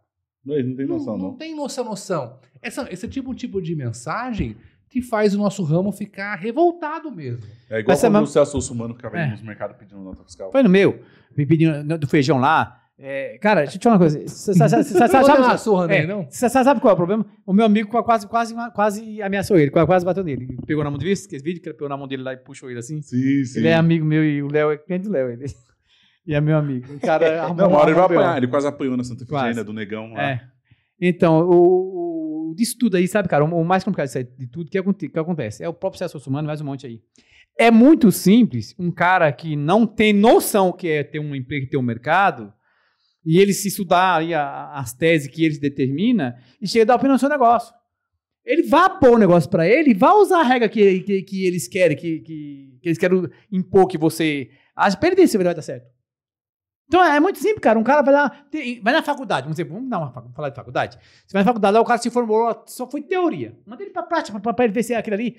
Você já viu alguma empresa na faculdade o professor falar que deu prejuízo? Que quebrou? Os não, cases, só, só dá lucro. os cases são cases de superávit. Exatamente. Não ensina um, um problema lá. Não ensina. Quando você sai de lá, cara, você vai encarar o mundo da realidade. É uma outra realidade. Aquele professor lá de sucesso, ele. Primeiro que ele é mestrado, um monte de coisa, ele nunca trabalhou em empresa nenhuma. Alguns, alguns dele, não é todos, pelo amor de Deus. Tem- aí o cara tem, a- ele tem a resposta pra tudo, ele sabe tudo. Pega, vai lá, vá, vá pra uma, uma empresa lá, chama um contador lá pra fazer todos os processos, vá fazer todo o processo, vá ver. É esse cara do Procon, esses caras aqui da Vida Sanitária que chega em cima da gente lá brigando por, por tudo, cara. Vá pôr um negócio pra ele lá que ele vai sentir na pele o que que é do teu negócio. Exatamente. E isso aí, ainda só um complemento, Thiago, isso é, são coisas que é, vocês que estão na operação conseguem ver. Mas vai mu- muito antes ou além disso na pró- no próprio imposto. Né? Quem conhece um pouquinho de substituição tributária, ou seja, que é a antecipação pela indústria, já é uma precificação do seu produto para fins tributários isso. feita pelo governo. Como que é? Só para o pessoal que não, não entende, só para entender. Né? Vamos pegar o vinho aqui. Por exemplo, o vinho, ele, ele custa na indústria, é, sei lá, 5 reais, por exemplo. É, em cima desses 5 reais, o que, que seria o normal, uma, uma tributação normal? A indústria vai vender para o atacado, por exemplo, para a distribuidora, vai pagar o ICMS. O atacado ele vai tomar esse crédito desses, desse ICMS, vai colocar a margem dele, vai vender para o varejo. O varejo vai tomar o crédito do ICMS, vai colocar a margem dele vai vender para a pessoa física, para o consumidor final. Quando é ST, o que, que o governo faz? Ele fala, indústria, faz o seguinte, você vai recolher todo esse imposto daqui até lá o consumidor final, para mim, já antecipado, e todo o resto da cadeia não tem mais imposto, fica zerado. Parece legal, né? Só que para ele, para fazer esse cálculo da ST, da substituição tributária, existe uma coisinha aqui que a gente chama de MVA, que é a margem de valor agregado, que nada mais é do que a margem que ele está estipulando que você, varejista, vai colocar para o consumidor. Aí você acha que ele vai considerar que 30%, 25%, que é um normal aí? Não. A maioria dos produtos é acima de 70%. Você então, o governo já precifica seu produto para fins tributários. imagine Aí qual é o MVA do cigarro, por que ninguém ganha dinheiro. Não, absurdo, Não, não, olha- absurdo, Olha, só, não, olha, absurdo. é, olha só. Aí o Léo falou assim: o cara ele vai lá e coloca lá. Imagina que é 70% que você tem que final lá. Que, que recolhe imposto, você falou final, paga lá. Aí vem o cara lá falando que você não pode vender por esse preço, que tá muito caro. Imagine, exatamente, Que isso? exatamente. Que que é isso? É isso. Ou, se- ou se você coloca muito abaixo, ah, mas eu acho que deveria ser mais caro, você tá quebrando a minha regra. Se você fazer isso, vai acabar com o meu MVA. E o cigarro? Às vezes o, o cigarro acho que é a pior dor de todas, né? A margem tabela do cigarro, firma- firmar só coisa, é 9%. Não, é 12%. O imposto equivale a uns 25% desse- desses, desses 12%. Então a margem do cigarro dá 8%. Então você compra o cigarro, compra com prazo curto tem muito furto. Às vezes o cara que vai te entregar te rouba. Aí, quando você for vender, você paga 25% de imposto sobre o teu lucro. Se você vende com uma margem de 12%, que já é precificado tabelado, então é 12% menos 25%. A sua margem líquida é 9%. Se você, em um maço de 10 cigarros, você vende 10, uma- um pacote com 10, para você poder, talvez, ganhar um. Mas se te rouba o pacote, você precisa vender 100 cigarros para recuperar o seu roubo de um pacote. De um maço. Você paga o imposto na entrada do cigarro. Então, se você for roubado, você paga o imposto duas vezes. Mas qual a sua opinião? Não vender? Cara, Ou manter o prejuízo? o, o cigarro, ele, ele, é, ele é um câncer não só para quem fuma, para quem vende. Não só literalmente. Porque quando o seu cliente está acostumado que você vende cigarro, ele vai lá comprar cigarro e qualquer outra coisa. Aí você fala, tá bom, se eu tirar o cigarro aqui, esse cliente vendendo, ele fica com raiva de você, porque você vende cigarro, você não vende mais, ele vai come- começar a comprar o cigarro em outro lugar e comprar outra coisa no lugar. Então a resposta é, quem trabalha com cigarro se ferrou. Tem que casar com cigarro. Então, Quem então, não tem, não coloca. então o detalhe é o seguinte: para você que fuma, para de fumar, porque você tá ferrando a vida do varejista e a sua também. Pra você ter uma ideia, eu, eu lá, lá na operação do, do, do Não, eu acho que o cliente deve pensar, nossa, quando esse de dinheiro aqui pra esse dom de mercado não tá escrito. Não, deixa eu te É, é, nem pensar nisso aí. Deixa eu contar outra coisa do cigarro. Quando eu tive minha padaria, quando eu comecei lá, era minha cidadezinha padaria, eu vendia muito cigarro. Eu vendia cigarro. Pra melhorar o movimento, vender cigarro. Só que quando você era pequenininho, e a gente terminou abrindo um fiado lá. Você piorou ainda a situação. não, Aí- não, olha, olha só. Aí, pô, o cigarro já não dá mais. Eu falei, não, não pode, não pode mais vender fiado de cigarro, não pode vender cigarro. Aí o abençoado lá, pra não falar que era o infeliz, chegava no caixa, comprava as coisas lá, dava 20 conto, aí pedia um cigarro. Tirava 50 pau do bolso, pagava o cigarro e falava, o resto põe na conta, põe no fiado. Olha. Falei, era direto, falei, não é possível, cara. O cara fazia isso, cara. Escutando tudo isso, sabe Pro o que eu lembrei? cigarro tem dinheiro, no mercadoria não tem. Sabe o que eu lembrei, Dimas? Daquela sua frase. Nossa, ela, ela É, fica, ela fica é, clara, clara, é, E- claramente. E chuva de tananana. Pode falar, cara. E, e, e senta. Não, não, não. Ó, é sério, o cigarro, cara. E o pior é, o seguinte, ele é tão ruim que até a participação de venda ele bagunça as suas metas. Você vende dois para cigarro. É simples, tem não tem, não coloca. E tem tem, é você tem, o cigarro que você pode você e pior. Eu já vi acontecer. Dois casos, que você pode resolver. O cliente vai atrás do seu caixa, atrás do caixa e pede cigarro sem pegar fila. Aí esse cliente é o pior de todos, porque ele vai comprar só o cigarro, só mais não sobe. Se o cara pelo menos rodar a loja e comprar alguma coisa, dá pra você tentar recuperar. Segundo, você não treina operadora de caixa e não treina ninguém na frente de caixa, a pessoa compra cigarro, um cartão, refeição, alimentação.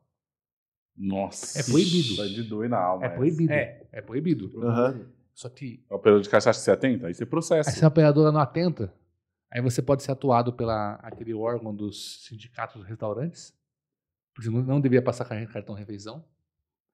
Você paga uma taxa de 6% mais os custos dá quase 7%. Aí o seu cigarro saiu mais caro ainda. Ou seja, se você tomar um processo desse, você tem que vender esse cigarro por mais uns 5 anos pra talvez pagar. Não, mas sabe o que é o pior? Eles não processam, eles tiram. Ah, eu já vi, a Ticket é campeão de tirar o credenciamento de você. Suspende Nossa. porque você cometeu uma falha. Aí você fala, peraí, eu não consigo mais recuperar. Então se você vende 100 mil reais no cartão Ticket Perde toda a venda do resto. você perdeu 100 mil de receita, cara. vários meses para o futuro. O cigarro, ele é um câncer para o dono de mercado também. Então, e outra, se você tá com ruptura em cigarro, tem que chegar com raiva. Porque o cara do Calto fuma Calto. O cara do Hollywood fuma Hollywood. O cara. Então a ruptura de cigarro faz você ficar muito grave. eu vou dar uma dica aqui pra vocês. Você que vende cigarro. Já que você já vende cigarro, já tem essa merda aí dentro da sua loja, aperfeiçoa a categoria.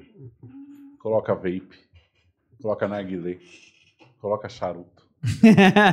Quando liberar cannabis, já faz a tabacaria lá, já é. Cria um setorzão premium de, de tabaco em geral e vende o gerador de margem.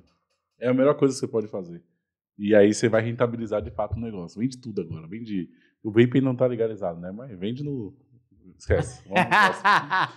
Dicas de precificação para o gerente de loja. Cria um checklist de roteiro de organização do produto que chegou ontem para você precificar tudo bonitinho. Cara, você tem que ficar puto. Treina sua fiscal de caixa, você ficar puto com a sua operação quando o cliente chega na loja e fala, vou ir lá na gôndola outro preço. Você tem que dar o desconto lá no caixa. Produto sem preço não vende. Cartazeamento externo, cartazeamento interno, percepção de preço baixo na loja toda.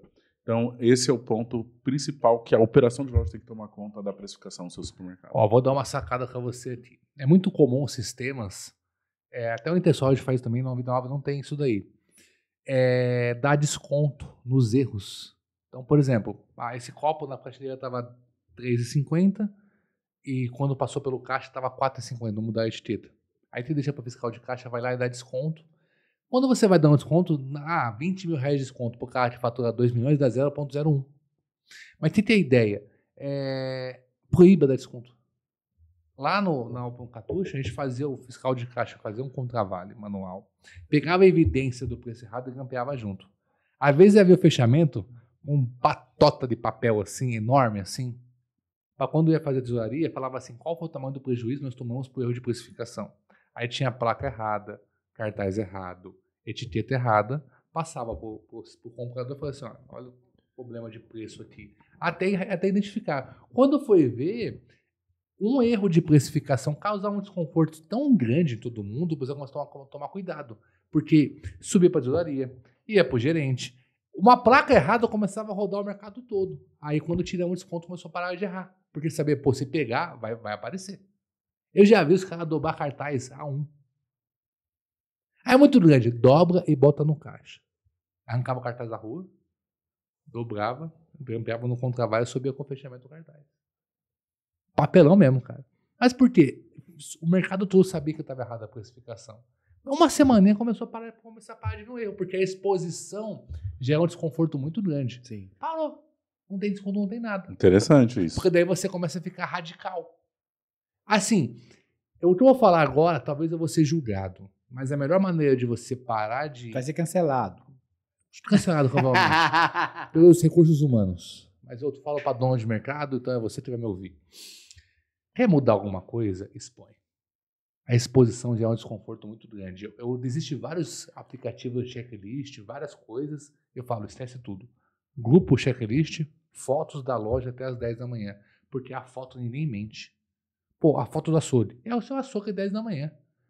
A foto da padaria é sua padaria às 10 da manhã. A foto da câmera fria é sua câmera fria. E o gerente não vai fiscalizar lá, ele vai corrigir as fotos erradas. E você vai botar um supervisor para poder olhar as fotos também. Então, o checklist por fotos, ela vai mostrar a realidade nua e crua da tua loja. Ô, Dimas, nesse caso, já pegou o operador tentando burlar usando fotos de outro dia? Ah, o gerente precisa dar, dar correção, né? O gerente precisa dar correção. São gerentes que foi omisso também, porque É, ele, ele corrige as fotos. é, Eu peço diariamente essas fotos da loja, né? Fecha a loja, tem que mandar foto pra mim que eu fecho a loja, né? E foto põe de manhã cedo, eu peço todo dia, né? Aí alguns mandam, eu, a foto de hoje, cadê que você mandou? Ah, ô, ô, Eu Thiago, tava nos Estados Unidos. Mas já pegou o cara tentando usando foto do outro dia? É. Não, cara, mas, mas tem. Tem, assim. Você tem é que fazer o quê? É, você tem que ir lá e tá averiguando se, se aparece. Eu tava nos Estados Unidos, minha mãe manda foto, eu puxo, eu puxo o zoom assim, né? E uma foto do corredor, eu puxo o zoom. Aí eu vejo, ó, tá sem preço, eu peço circuito, sem preço, sem preço. Sem Porque a preço, sem correção é dinâmica. preço, sem preço. Aí o cara, cara, o cara tá lá do outro lado, cara. Eu falei, tô vendo, você não colocou o preço, põe lá. E aí, tem ideia. Entendeu? Cara, Ah, essa exposição. E eu deixo no grupo. Aí a- toda a loja vê que eu corrigi a, a, a loja. Essa exposição ela gera um desconforto, porque esse desconforto começa a fazer o cara de fato passar vergonha. E só existe mudança quando a mudança faz sentido.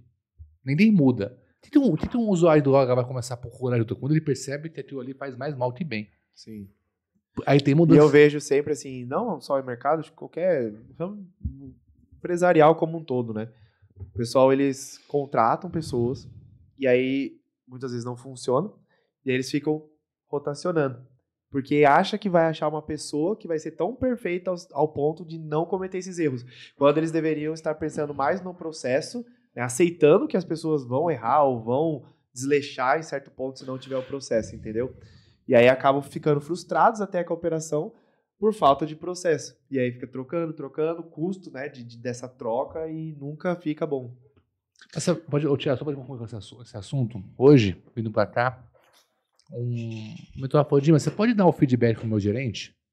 Aí eu falei, pode, manda um áudio falando quais são os pontos que eu vou esclarecer. Não, mas eu vou dar os áudios dos pontos positivos dele e o ponto negativo. Eu falei, mas peraí. E eu falo o que com ele?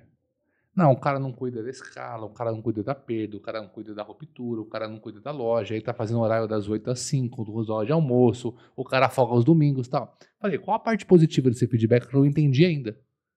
Claramente. Não, mas o bom feedback começa a parte positiva com a parte negativa. Falei, esse cara tá tão ruim que você tem que dar um feedback. Ele não vai entender que ele tá ruim. Falei, o feedback é uma informação que eu dou pro cara. Ele avalia aquela informação. Se ele usar e mudar, show. Se ele não mudar, é uma resposta. Não, mas eu aprendi que o feedback tem seu feedback outra parte boa. Eu falei, qual a parte boa desse cara? Não bate meta, tá errando tudo isso aqui, tem que esclarecer que tá ruim. Ué, a- o par de bolha é obrigado, é a obrigação dele. Aí eu falei, o feedback positivo, você já bateu meta. Se não bate meta, tá ruim. Ah, não, O mas se feedback tiver... positivo é que ele tem a possibilidade ainda de fazer, de melhorar. Aí, o aí ele falou assim, pô, mas eu, eu a, a- a minha empresa de RH que trabalha aqui vai contra isso. Eu falei, ó, olha o jeito que você tem. Olha a cultura que você está trazendo. Onde o erro é impune. Então, essa parte de operação de loja, ela começa na comunicação. A comunicação do que deve ser feito, o que não pode ser feito, o que precisa ser feito, como precisa ser feito, e trazendo um padrão de referência. Operação de loja, abastecimento é comunicação. É você mandar informação, é você ter escuta também para poder entender, porque caso contrário nada vai dar certo. Que nem agora, só para concluir o raciocínio, vou ter que montar uma- um, um chamado pessoal, essa loja. É, por favor, mandar alta fiscal disponível, compradores. Olha como está a margem do arroz. Precisa o preço na concorrência e ver se realmente precisa baixar. É uma demanda nova. Se não houver comunicação, é, é, são quatro lojas. Talvez ele vai se ferrar numa loja ainda. Sem nem ver o grupo. Talvez o Pocom vai na outra, aí não vai ter nota fiscal disponível, aí o preço vai estar maior, aí com informação vai ser fiscalizado. Porque não tem comunicação. Pode falar, cara. É, vai entrar justamente nesse ponto que a gente está falando. Próximo ponto agora desse podcast é liderança e gestão de pessoas. Eu falei que nós íamos falar dos cinco pilares da operação de loja. E agora vem para mim que é um dos mais importantes e é um dos mais difíceis para o dono do supermercado, que é justamente que é ter liderança nas lojas e gestão de pessoas, porque nós sabemos a dificuldade de mão de obra e sabemos que supermercado é um dos últimos negócios a serem procurados como opção de trabalho pelas mãos de obra supermercado, shopping, posto de gasolina, loja de farmácia, por quê? Porque trabalha aos finais de semana, porque não é bem remunerado, porque a nossa margem não é alta. Então, você tem que aprender a vender um sonho, a ter uma cultura forte, a ter o cara ali no engajamento e ter uma visão de futuro. O cara, uma escadinha para ele subir. E, e, ao mesmo tempo, é o negócio é o seguinte, o dono do supermercado, ele é carente de pessoas boas, honestas e competentes. O pessoal que está no piso tem que entender que se ele ser minimamente bom, honesto e competente, ele vai ter uma jornada muito grande no supermercado. Por quê? Porque 90% das outras pessoas não fazem nada. Então, se você for minimamente bom, você consegue ganhar bem, ser bem remunerado no ramo de supermercado. Fala a verdade, se nós não queríamos pessoas boas no nosso lado, você não gostaria de dizer? Você é louco. Se você tivesse um cara que você tivesse a certeza que ele é 100% honesto, dedicado, dor de dono e competente, você não pagaria muito bem por esse cara hoje? Rapaz, eu, eu saberia que, que eu poderia folgar, descansar algumas vezes. Quando ele, O Exatamente. cara vai me dar lucro, cara. Então é o seguinte, é um cara que se, com certeza se paga. Mas os caras hoje tá assim, quer, quer, quer trabalhar pouco, quer ganhar muito, quer ser reconhecido, quer ser... Faz muita coisa errada, mas, mas quer ser valorizado pelas coisas certas que faz. Você tem que dar, dar valor pra ele. Parece que a qualidade dele, que é um, é um, é um compromisso que ele tem que ter com a empresa, vi- vi- virou um- algo que você tem que estar falando pro cara, meu, parabéns, você é bom. É isso, que é obrigação do cara. Então, tá difícil, cara. E, e olha só, é, eu já fui colaborador também, como quase todo mundo aqui já fui colaborador. Existem duas formas de uma pessoa trabalhando para outra pessoa ganhar bem. Só tem duas, duas, duas. Aprende isso aqui. Um é quando você tem um conhecimento específico sobre algo, que você é muito bom, você é perito naquilo. Então, exemplo. E entrega, né? Por que, que um confeiteiro dentro do supermercado ganha bem? Conhecimento específico. Não é fácil encontrar. Então, um confeiteiro ele tende a ser caro. Se bobear, tem lojas que o confeiteiro ganha mais que gerente. Porque é Já vi. específico. Você pega a cara do açougue, às vezes ganha mais que gerente. Por quê? Porque ele tem um conhecimento específico difícil de se encontrar. Em tudo na vida, o conhecimento específico vai ser sempre muito bem pago. Programador na TI. O cara ganha sozinho, ele é responsável por ele mesmo. Tem programador, programador que ganha 30, 40, 50, 60 mil reais. Aqui no Brasil, trabalhando já para fora. Por quê? Conhecimento específico. E o segundo fator que faz um colaborador ganhar bem é liderança e gestão de pessoas. É ele saber liderar. Então, se você não tem um conhecimento específico, você vai ter que saber liderar dentro de um supermercado para você se destacar entre outras pessoas e você ganhar um salário melhor que a grande massa, que o piso da, da população, até nacional. De- menos de 10% da população não chega a 5 mil reais de salário no Brasil.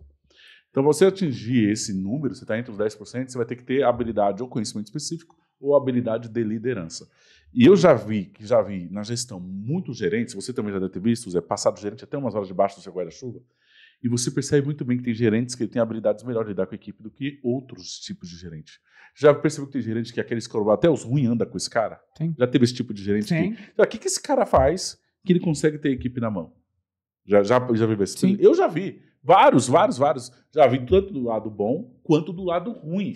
do cara chegar e o cara acabar com a equipe mesmo, a ponto do funcionário justificar roubo porque ele era maltratado pelo gerente da loja. Então, vou roubar aqui mesmo, porque esse cara aqui, é, sei lá, me maltrata, fala mal comigo, a ponto disso isso virar justificativa. Tanto é que não existe justificativa para roubo. Mas disso virar justificativa e você não tem noção do cara que estava tomando conta da sua equipe.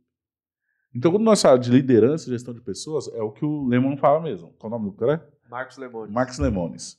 Produto, pessoas e processo. E se você, e, e às vezes você como dono, você vai ter que entender que você não é de pessoas. Eu, na gestão, eu sou um cara que eu não sou de pessoas. Não sou nem ruim e não sou nem bom. Então, quando você fala de tratar com pessoas, eu prefiro abrir mão disso aí, porque não é a minha melhor habilidade. Não é a minha competência, não é meu negócio de estar lá, motivar a equipe. Também não, também não sou ruim, mas também não sou bom. Então, às vezes, você tem que entender se você tem sócios, se você tem gerente, se você tem diretor, que você tem que ter a pessoa que é melhor do que você para lidar com pessoas. Eu acho que eu não me considero bom lidar com pessoas, porque eu não gosto de mimimi, eu não gosto de frescura. E para mim tudo. Eu que fui um colaborador nível hard, é, eu acho que todo colaborador tem que se comportar igual eu era. Então por isso que eu acabei não sendo um cara bom. Então qualquer coisa que a pessoa falar para mim é frescura, não sabe o que é sofrimento na vida. Entendeu? Então já pensa com a nossa ótica de vida. Imagina o Zé que veio da, da pobreza, você vê o colaborador chegar meia hora atrasado, na nossa cabeça já é vagabundo. Já pensa aí, você é vagabundo. Não é verdade? É, pegando o gancho que você falou do, salário aí que o pessoal aí, e saiu, no, no- saiu duas semanas atrás, eu vi a reportagem na, na CVN que 1%, da- 1% da população brasileira, 1% ganha acima de 20 mil reais. Sim, é isso mesmo. 1% É ganha acima de 20, 20 mil reais. Falei, falei sobre isso aqui até na praça que eu, que eu, que eu fiz aqui anteriormente, aqui, é, a última que eu fiz aqui em Guarulhos, que eu coinc- coincidiu que eu, foi a mesma semana que saiu esse número. Eu falei, cara, olha isso, cara. Olha quantas pessoas. A quantidade é muito pouco, cara. Muito pouco. É muito pouco. Muito pouco. Mas é uma pessoa bem específica. E isso aí é pessoa bem específica. Não, e detalhe, e é muito pouco, eu vou te falar uma coisa. Não porque não há oportunidades, mas porque as pessoas não se preparam para ganhar esse Não. dinheiro. Porque no nosso ramo de As pessoas supermercado, querem, mas, mas não se preparam. nosso ramo de supermercado, tem vários supermercados aí com, com um monte de oportunidade. O próximo- O próprio Marcelo Martins, ele fala que ele estava disposto a pagar 25 mil reais para um gerente comercial de compras, mas não tem. Não tem. É a falta, porque nós estamos num país de terceiro mundo, não há pessoas preparadas para assumir esses postos. Esses postos. A ponto de que, que nem, hoje eu conheço vários programadores que eles recebem dólar. As empresas de fora também já não têm, então eles buscam mão de obra fora, porque falta mão de obra preparada que tem essas duas coisas, ou tem conhecimento específico, ou sabe liderar pessoas. Entendeu? É isso. E na loja, é, cara, não, não é qualquer um que sabe liderar pessoas. Não é qualquer um. Não é qualquer um que sabe tirar E, o a e é um bom funcionário, mas liderar é complicado. Não é, é igual quando você pega o ótimo repositor e promove ele para carregar, cagou em tudo. Perdeu. pe- Perdeu, repostou. Perdeu o repositor. Perdeu, repostou. Perdeu, Essa, essa parte de liderança, primeiro ela ficou muito muito vulnerável, né? As pessoas nem sabem o que é ser gestão, o que é ser líder e tal. Ah, não, mas fulano tem que ser um bom líder. Primeiro que o, o funcionário espera que o líder seja uma mãe, não alguém que bate metas. Segundo, que ser um bom líder nada mais é que você formar outra pessoa para ficar no seu lugar. Ponto. Que tem um bom líder? Alguém que consegue orquestrar o time, que consiga jogar no jogo uma liderança ombro a ombro. Como que funciona? Time, time de futebol. O líder do, do, do time tá jogando junto. Ele vai ter aquela proximidade, aquela correção. Vamos lá, não sei o que. Esse é o líder. É ombro a ombro. E terceiro, às vezes o líder sabe menos do que o, opera, o teu cara da operação. Virou líder porque é um cara antigo. Virou um líder por proximidade. Porque o cara gosta dele, é. Virou Porque é parente. Virou porque é parente. Virou um líder porque te tinha que pagar um pouco a mais e botou cargo de liderança. Então nós mesmos não capacitamos as pessoas que são fundamentais para a operação crescer.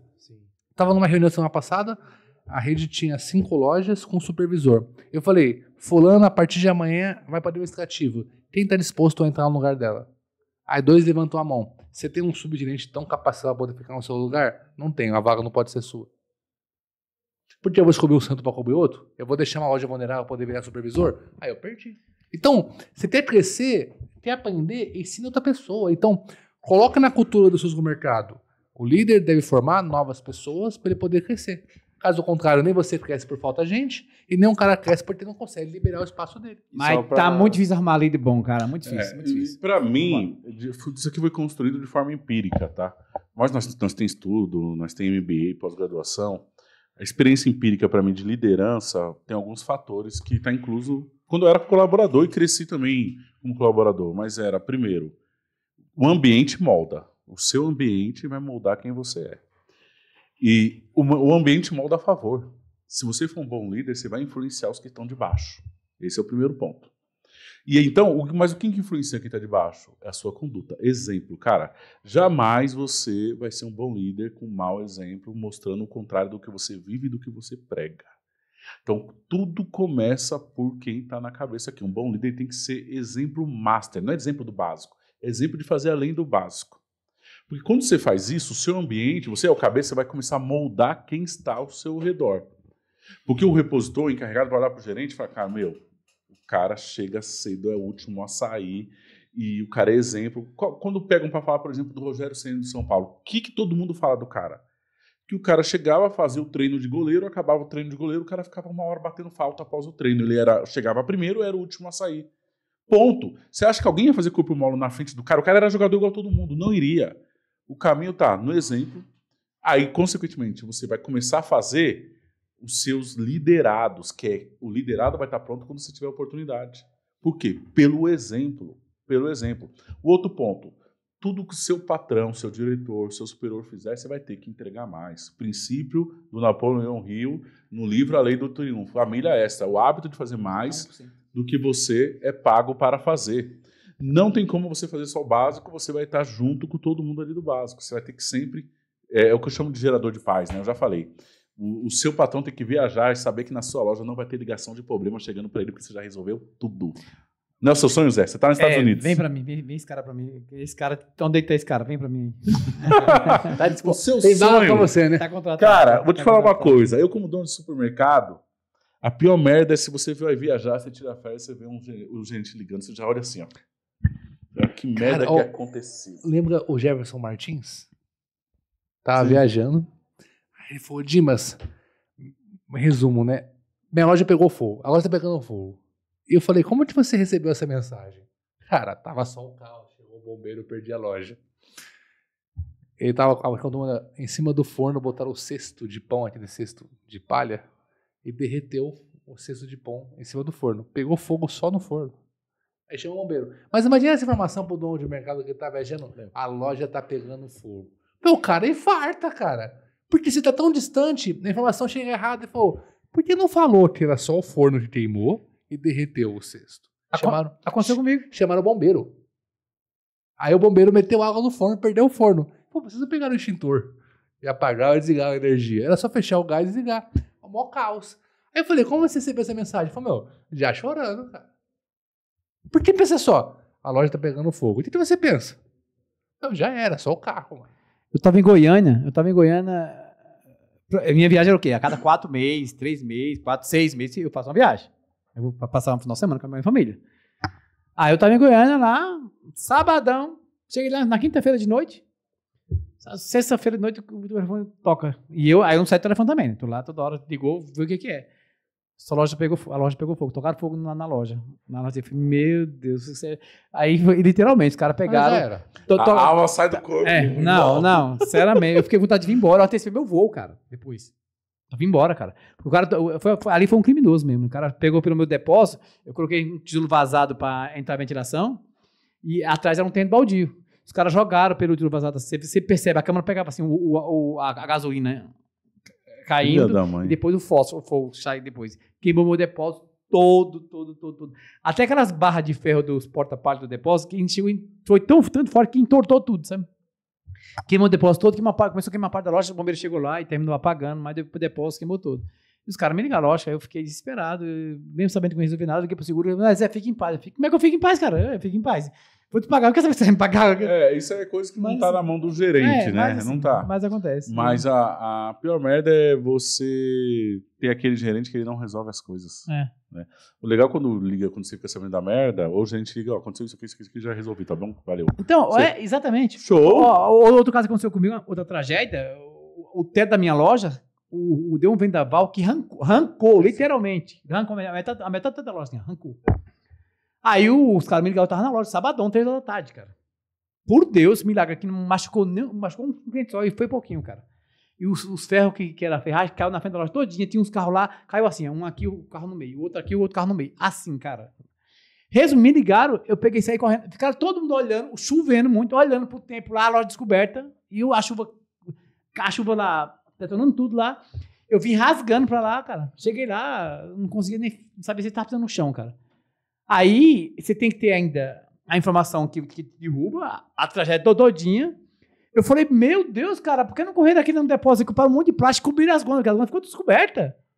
Era só comprar o- a, a lona lá pra cobrir lá e já molhou um pouco, que repente que não dava pra, pra recuperar. Mandei fazer correndo depois de quase uma hora, meia hora chovendo lá dentro da loja. Ou seja, se o cara tem a A atitude. produtividade. a- a- meu, perderia men- menos Proatividade. mercadoria. Eu tomei um prejuízo de meio milhão de reais nessa loja. É, até uma coisa que o Napoleão Hill fala, que um dos princípios da liderança é iniciativa. É, isso. Iniciativa. Faltou o cara Vai e ali, faz, tá na hora, eu falei, não, peraí. Vai e beleza, faz. Deu a tragédia, vamos, faz isso aqui, amenizar isso aqui, acabou, e depois a gente vê o que faz. É, e vou te falar uma coisa. Quando acontece esse tipo de problema, vocês, como empresários, você fica mais puto com quem? Com o omisso ou o que tentou fazer uma coisa, deu errado, mas pelo menos tentou? Com omisso, cara. o omisso, Omisso, pô. cara. O omisso, Omisso, omisso. exatamente. Vai lá, tenta resolver lá. É. Se deu errado, paciência, pelo menos você tentou. Isso. R pela, pela tentativa, R pe- não, mas não pela omissão, sabe, cara? Mas tem empresário que se sente mal com isso e aceita. Não pode aceitar, cara. O cara chegou, o cara é gerente, líder, o que seja, chegou com uma informação. Sabe aquele cara que só traz problema? O cara traz problema. Tá, problema, já entendi o problema. E aí? Sabe? Tem que ser um pouco mais incisivo, sabe? A gente às vezes vai se, se ficando com- acomodado, sabe? Permissivo. Não acredita. É Você vai permissivo. permissivo. Permissivo. Eu, eu já tirei com experiência várias vezes. Eu criei um hábito, quando o cara fala isso pra mim, falei, tá bom, como é que faz? Aí ele É. assim, assim, assim. Então você sabe, seu porra. Por que você não fez? Você tem a resposta, precisa de, de vir consultar? Meu Deus, assim, cara. É isso que Tem eu gente que acha que é legal vir trazer Ó, o problema. A gente fala sobre liderança achando que as pessoas falam assim: ah, o Dimas, o Thiago vai dar cinco dias para ser um bom líder. Mas o grande problema, Zé, eu até poder concluir, o grande problema é que você não é um bom líder também. Ser bom líder sabe falar não. Sim. Ser bom líder é você formar novos homens, novas pessoas, é formar caráter. Ser bom líder é o exemplo. Pô, Exemplo. se, você, se você é permissivo, o cara fala assim: ah, ninguém começa cutucando a onça de vara curta. Eles vão de longe. Até sentir uma segurança para chegar perto. Se você é permissivo, o cara fala assim: não vai dar nada, não vai dar nada, não É. vai dar nada, não vai dar nada. E quando vê. Quando você é permissivo, você acaba punindo os bons funcionários. Sim. Quando você é permissivo, você permite os ruins serem ruins e você faz os bons trabalhar mais. Porque você fala, ah, fulano é ruim, o bom tra- entra mais cedo, sai mais tarde, vem de folga, faz hora extra, faz tudo. E o ruim não entra mais cedo, não sai mais tarde, não faz hora extra, ao ponto que o bom, o bom é punido pelo ruim. porque você é permissivo, onde você permite pessoas ruins perto da sua empresa. E o bom Isso. sai, você fica só com o sujo. Aí a culpa da liderança, a culpa é sua, cara. Então, Sim. quer ser um bom líder? Você tem, um, tem uma- um, supermercado com uma boa gestão de pessoas? Seja um bom gestor, seja um bom líder. Pare de ser permissivo. Exatamente. Vamos pro próximo? Próximo é prevenção de perdas. É. Que é outro ponto da loja que é ralo se você não. Se o seu gerente não tiver amador de dono, tratar com o negócio como se fosse dele e não ter, mais uma vez, processo. Checklist, processo, hortifruti, açougue, tem perda, prevenção de roubo, inclusive prevenção de perdas. Saiu uma matéria, já tem uns meses no Domingo Espetacular, sobre uma empresa que, com inteligência artificial, ela verifica se o cliente colocou ou não o produto dentro da Eu vi essa matéria. Você viu essa matéria? Eu entrei em contato com a empresa já. É? Entrei, tô para marcar uma reunião com eles. Que já viu, muito louco, né? Muito, muito bom. E ele avisa. É um- inteligência esse artificial. mercado fica lá perto do Hudson. O Beto. É no Rio, né? É no Rio, fica lá perto do Hudson. É. Fica na loja do Hudson. Eu, eu- a empresa está para entrar em contato comigo para ver como funciona esse projeto, que ajuda a minimizar um, o máximo possível o roubo de clientes dentro da loja. Mas quando nós falamos de prevenção de perdas, também envolve muito processo. É muito checklist, é muito processo. E está na mão do seu gerente. Pô. Você que pensa em ter uma rede, você vai deixar o seu negócio na mão do seu gerente. E você, gerente que está ouvindo, você vai ter que sempre mapear todos os dias o processo, tudo, porque como a nossa margem é muito baixa, se você deixar largada a prevenção de perdas, está fudido. É 1, 2, 3% e correu o lucro da loja. né? Tem uma frase que uma vez eu ouvi que se você tem 50 funcionários e a sua meta de lucro líquido é 5%, é 5%, é como se fosse 50 pessoas lutando para tentar ganhar 5% e nenhuma lutando para economizar 3%. Porque se você não prevenção de perda, você pode perder até 3%. Aí você fica lutando em vender, vender, vender, mas sem luta para economizar 3%. E per- perder, perder para si mesmo, né? Sim, sim, sim, tem validade. Tem. Lá no set já chegamos a pegar pallet vencido. Nossa, que doido, cara. Dá uma dor. Eu já vi também história de supermercado. Isso aqui era do, do famoso Docilar. Você lembra do Docilar? Lembro, lembro sim. Do Eu, Hamid, eu né? conheci o dono, do o filho do dono lá. Isso, é, o Jade tem três, né? Monkey Bell e o outro. Então, os, o Seta contratou muita mão de obra do Docilar. Eles tinham, eles tinham ótimos profissionais lá de operação. Por isso o Adilson trabalha com a gente é esse Docilar. Ah, E eles contam a história que o Hamid era meio porra louca. A ponto de. de porra louca eu falo assim no bom sentido de. O gerente chegou, montou aquele ponto S, aquele terminal com caixa de óleo, e colocou algo para tampar. Ficou meses lá, quando foi ver, quando acharam, já tinha vencido aquele monte de caixa de óleo que tampava o terminal. nossa. Mandava ou paga ou apaga a data e tenta vender para o cliente. O que acontecia na rede. Então, ou o gerente da loja pagava. Sem dó Tem que fazer pagamento. sem dó de pagar. Você já viu alguma experiência de o cara pagar uma quantidade Já. absurda? Já, eu mando parcelar, já vi, mas, assim, infelizmente é comum porque o erro é comum. Então, já vi pagar, assim, 10 pau já. Comprador pagar. Paga dividir, é bem comum, viu? Coisa desse, nesse nível. 10 pau, assim, eu já fui pagar coxa sobre coxa. Porque entrou como FIFO, não comunicou, o encarregado não viu e venceu na... na É, o comprador que assumiu o. Dividiu os dois, porque não avisou. E a loja, tinha- a empresa tinha chamado, no WhatsApp não. Qual, Não. qual Márcio você já fez pagar o. o- Cara, eu, já fiz pagar, lógico, caixa normal, né? Dentro da loja assim. É que a gente pegamos, começamos a fazer um, negócio lá que os meninos têm que avisar, avisar a data de vencimento de todos os produtos, de, de, de validade de todos os produtos. Aí a gente pega e faz o quê? Pra, pra gente ba- ir baixando. Aí não, não, não, deu, cara. Aí foi me pagar. Tem um moleque que pegou um monte de cerveja lá, acho que foi uns 60 fardos de cerveja lá. E ele falou, mas eu vou levar. Eu falei, pode levar. Você pode pagar, você pode levar pra você. Se você quiser levar, você pode levar. Pagou lá, ficou brabo pra caraca lá. Falei, vai pegar. Meu, rapaz, a cerveja que mais vende, cara. Escola, é escola. Como é que vende? Como é que como venceu? Porque o porra guardava lá e não mandava. Não, tem um Pepsi, o meu usa, ele tá chegando toda hora lá. E não avisou. E tem um, um relatório de, pra gente, pro cara fazer semanalmente, falar o que tá perto de vencimento, pra gente já. Ele não, não, não fez, não falou. Ah, é, venceu. E aí você foi pagar. Bem, bem, fiz pagar. Qual era o valor mais ou menos? Ficou, ficou, ficou os os 700 e poucos reais.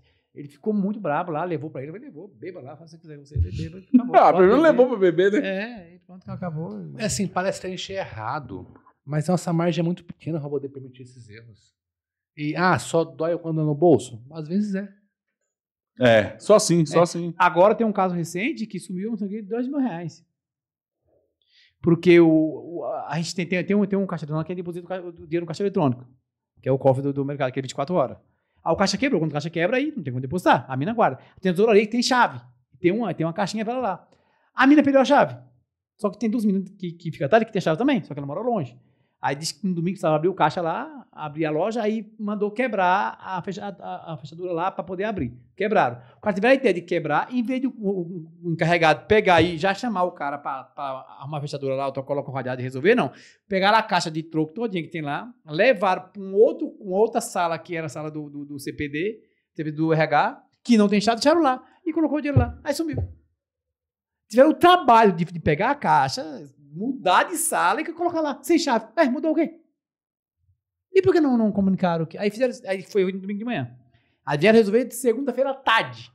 Esse dinheiro some a, na segunda-feira de tarde, depois do meu dia.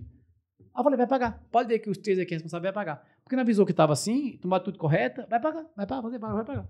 Pagou. Sei, vai pagar. Foi a semana passada que aconteceu isso aí. Vai pagar. Olha só. Não sei é, quem vai pagar, vai pagar. Quando o Dimas fala dos grandes do atacarejo, que ele sabe fazer gestão de frente de pequeno, nos atacarejo, eu tive muito contato com o pessoal, tanto do Atacadão, do Açaí. Cara, perda é o negócio que sobe na mais alta diretoria. Perda roda a cabeça de gerente. E gerente de atacados, o cara ganha 15, 20 mil, gerente de loja. E a perda é responsável pelo gerente da loja. Então ele acompanha, tem que acompanhar desde a conferência, tem que ter um conferente bom lá, o processo tem que estar acontecendo, a manipulação do hortifruti, a manipulação da açougue, a furto, a tudo. O gerente é como se fosse o dono do supermercado local. E, cara, e tem um percentual aceitável. Ficou acima do percentual é, que não é aceitável, roda a cabeça. Não tem boi. Cara, os caras têm que entregar o um número e perda é um negócio que eles olham ali, que é coisa que geralmente o dono do supermercado da rede menor não faz. Sim. Entendeu? Então, os caras que é gigantesco e tem muita grana, olham com muito mais atenção à perda do que o menor. Porque tem muito, por isso tem muito dinheiro. É. Eu acho que tem dinheiro porque olha. Sim. Não por- olha porque tem. É, o passarinho não, o passarinho não é feliz porque não tá feliz porque canta. Ele canta porque é feliz. É, tem dinheiro porque olha as perdas. Economizando a perda é garantir lucro. Agora tentar vender mais para tampar um buraco é burrice. É tipo, minha caixa d'água tá furada, eu vou abrir a torneira para poder entrar mais água, assim eu, eu consigo entrar mais água e sai. Pô, tampa o buraco, cacete. Ah, eu- todo mês eu não bato compra e venda. Tá, e não tenho estoque, tá sendo roubado. Não bateu compra e venda, não veio estoque, é roubo. Pode ser na entrada, na saída, no recebimento. No caixa, agora vai. É roubo. É simples, pessoal. Ah, não controla estoque. Tá, então toma a dica. Não bateu compra e venda, olha o setor que não bateu. Se for açougue, se for hortifruti, é roubo, é roubo direto. Porque não, não dá pra você guardar açougue e hortifruti. Então, se você vende no açougue 25% e no hortifruti 10%, 35% do seu roubo você consegue pegar na compra. O outro 65%, você olhou o volume e não vendeu o volume, não teve saída, não estava estoque, você foi roubado. Agora saber aonde. Mas não precisa ser muito esperto para perceber. Pô, não tá sobrando dinheiro. Eu tô comprando, não tá aparecendo, é roubo. Ou você comprou, não chegou. Ou você vendeu, não recebeu. Ou não passou pelo caixa, mas é roubo. Essa é prevenção de perdas. Ah, quando eu preciso investir em prevenção de perda? Quando você percebe que o seu resultado não bate, e a prevenção de perda vai prevenir que você não seja roubado. E no, onde eu trabalhava, a pessoa que pegasse alguém roubando recebia um troféu. Eu falava, isso daí é um sinônimo que nós somos ruins, porque pegar alguém roubando, a prevenção de perda não funcionou. Então a prevenção de perda falhou porque alguém roubou e nós pegamos. E acredite, se está pegando muito roubo, não é porque você é eficiente, é porque é só a ponta do iceberg. Exatamente. Os ratos, ó. O rato sempre vai querer entrar. Esse é o negócio, não dá para relaxar. É pro resto da vida. O nosso modelo de negócio vão querer nos roubar. Vão querer sempre de diversas formas. É no cancelamento no caixa, é no, no recebimento, é na mochila na hora de ir embora, é no açougue vendendo uma carne por outra, é o operador de caixa que não passa o parente. Nós vamos fazer um podcast em breve que é 30 motivos, 30 lugares que você pode ser roubado, seja de cliente, seja de funcionário.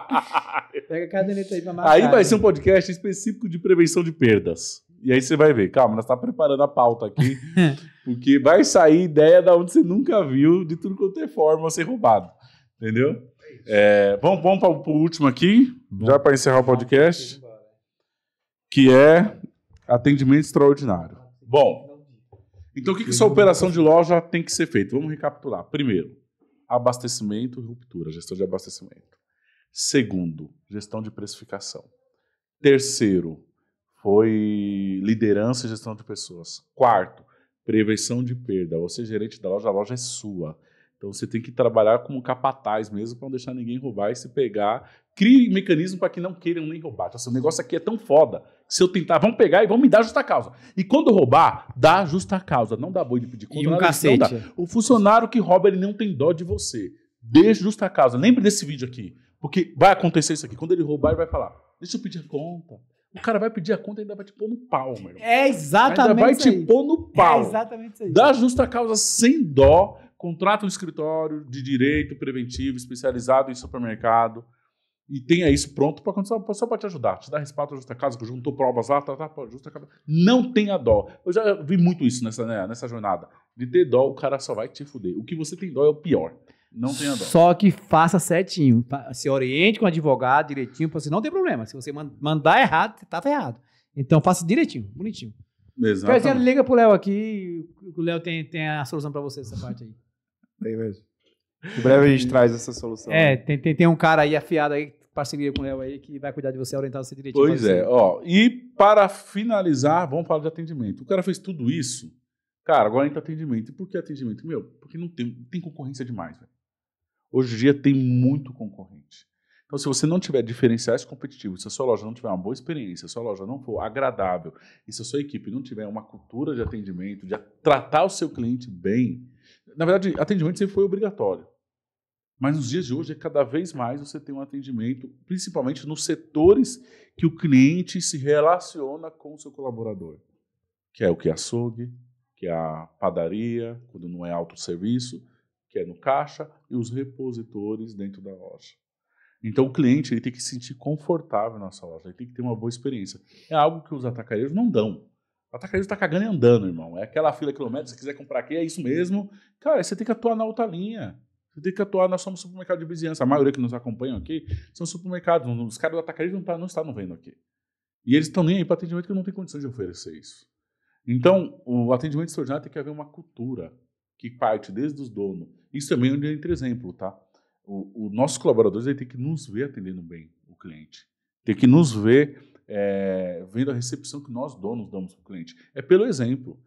É a cultura de atendimento extraordinário. Eu tenho depois um podcast onde só fala de atendimento extraordinário. Vai lá ver, é até antigo esse podcast. Depois pesquisa aqui no YouTube aqui e vai lá assistir ele completo. Ali você vai ver que, que é uma aula, é quase duas horas só de atendimento extraordinário. Ações. Que isso nós fizemos na prática para atender o cliente bem. Porque com tanto de concorrência que tem hoje, se você não tiver diferenciais, nós está fudido. O atendimento nada mais é que servir. O é um bom atendimento? Você servir as pessoas. O que é o supermercado? É um comércio de alimentos limitados. Na verdade, é um servir. Nós somos servidores de pessoas. A mercearia você serve, pessoal do consome, você serve no açougue, serve na padaria, serve no hortifruti, é servir. Se as pessoas que trabalham com você não estão dispostas a servir, não são as pessoas certas. E serviço se resume na palavra: fazer a vontade do próximo. E o, o é o seguinte, gente: tem as regras formais, que é o caixa falar o bom dia, boa tarde, boa noite, obrigado. Mas essa- isso ainda é robotizado. Isso é ok, é bom. Mas é você sair do padrão. A sua equipe tem que ter entrar na parte de ser humanizada. É uma equipe humana, é um ser humano atendendo outro ser humano ali. O cliente não quer que você faça malabarismo. O cliente só quer que tenham pessoas humanas tratando bem quem entra ali na loja. Apenas isso. Você não precisa criar a regra, obrigado a falar bom dia. Pode falar, oi, como é que a senhora vai? Tudo bem? Existem vários linguajar de atendimento humano. Se a sua loja for uma loja humana, acabou. Seu açougueiro vai ser humano. Aí você tem que, depois tem outro nível de atendimento quando vira um vendedor. Então, se o seu, seu açougueiro é treinado para vender, aí não é fácil encontrar, porque nós sabemos da dificuldade nós temos mão de obra. Mas o sonho era açougueiro vendedor, operador de caixa vendedor, a balconista do frios e padaria vendedora. E aí é um alto grau de nível que não é fácil chegar nessa performance, não é fácil encontrar supermercados assim, mas seria o sonho. Só que aí nós temos que ter, ter tempo, investir em treinamento, em reter talento, em recrutar bem. E nós sabemos que para nós só vem o raspo da taxa para trabalhar no supermercado. Então, tá para nascer ainda o supermercado que eu vejo o ápice do atendimento, né? Tá para nascer. Você conhece Verdade. algum? É difícil. Difícil. A rotatividade é muito grande, as pessoas, a- grande. as pessoas levam o processo embora. É, que ver exemplo de atendimento. O lugar que eu gosto de ir, que eu me acho super bem atendido. O Outback, eu acho que tem um atendimento do caramba. Deixa eu ver. Tem loja de brinquedo da ReHap, quando você entra, até que eu, eles falam que o atendimento deles é uau. E é mesmo, é cultura. É, é, mas o legal é que assim, é, mas você vê o preço que é pago por isso aqui. É um preço caríssimo. Exatamente. O cara entra assim, ele é treinado fala assim: ó, se eu atender você bem, se você achar que eu mereço, você paga a, sua, a mesa, né? Você paga a porcentagem da mesa. Se não, eu não pago. Aí o cara tá. Se garante tanto. Se garante tanto assim, mas ele tá tão. Também é o seguinte: ele sabe que se ele não fizer também, você pode se negar. Tem cara que até se nega, mas a maioria é tão convencido pelo atendimento que tá indo pagando. Mas é Porque aquela cara- questão de, de assim, saber pra quem você vende, né? Exatamente, mas é um, é um negócio, de- é um separado, é um nicho diferente, né? É um A gente, diferente. a gente corta cabelo lá na, na Corleone, né? Inclusive, um abraço aí pro Bruno, gente boa pra caramba. É... Ah, é um público específico. Então você chega lá, os caras te oferecem café, água, pergunta se é com gás ou, ou Um não. show. É, chopp de, de graça. Eu já gosto de uísque, é, é pago e tal, mas preço super tranquilo, assim, normal, assim, abaixo do normal. Mas tem tudo isso, mesa, um, bar, um barman. Mas é lógico que eles sabem para quem eles estão vendendo, né? Então acho que é também você saber para quem você. Qual é o seu cliente? Quem é o seu cliente? É, o melhor atendimento do supermercado é ter o produto de qualidade muito bem, imposto, e muito bem exposto, porque é autosserviço. E nas partes que envolvem relacionamento com o cliente, tem que ter muito bem humanizado. Acabou. E o cliente não pode sair da loja sem o problema ter ser resolvido. Porque você saiu o cliente, você deixou o cliente sair sem problema resolvido, você está fudido. Porque ele vai falar para 3, 4, para 5 e aí já era. Sim. Né? Fala, o cara pra falar mal é rapidinho, pra falar bem é difícil. Mas falar mal, meu amigo, ele faz questão, cara. Ele para meia hora, do- uma hora do tempo dele, não sei, vai fazer outra coisa, né, cara? Não, ele vai, vai, vai falar mal, cara. Sim, sim, isso. Bom, antes de encerrar o podcast, vamos falar dos nossos serviços aqui, Dimas. Queria falar aqui, nós temos uma agência de marketing especializada em supermercados. Também temos a central de compras de hortifruti aqui no CEAGESP de São Paulo. E também o projeto de implantar produtos naturais a granel na sua loja, se você estiver interessado. Aqui no link da descrição tem um link de WhatsApp, você entra em contato com a nossa equipe comercial. Cadê a lá na tela? Intersolid? Tá, tá lá. Bom, pessoal, Intersolid, nosso RP, nosso patrocinador. Se você vai assistir esse podcast hoje, vejo falando sobre indicador, dia sem venda, cobertura para você, o sistema hoje mais completo em indicadores e relatório, ao ponto que você pode construir relatório como você quiser, é a Intersolid. Se tiver interesse, pode chamar a gente ou chamar ele direto, que vai ser uma solução para o seu supermercado. E o próximo patrocinador hoje é o Léo, que está presente com a gente aqui. É a nossa contabilidade, que inclusive está batendo um marco. A única 5M, A, a- 500M. a- a contabilidade 500M, que já fez os seus clientes economizarem ali 500 milhões de reais pagando o imposto correto, de maneira em ordem. Se você hoje percebe que está pagando muito imposto, é simples. Você vai chamar ou eu ou o Thiago e falar assim: estou pagando tanto de imposto. E ele vai fazer uma consulta para saber se está dentro da média ou não está. Só isso. Tiver falar da média, eu não é dinheiro passando pelo mão dos dedos no ralo. Pô, o- o- o- o Léo, você não tem uma média de imposto percentual por cada região? Sim. Então, não matemática.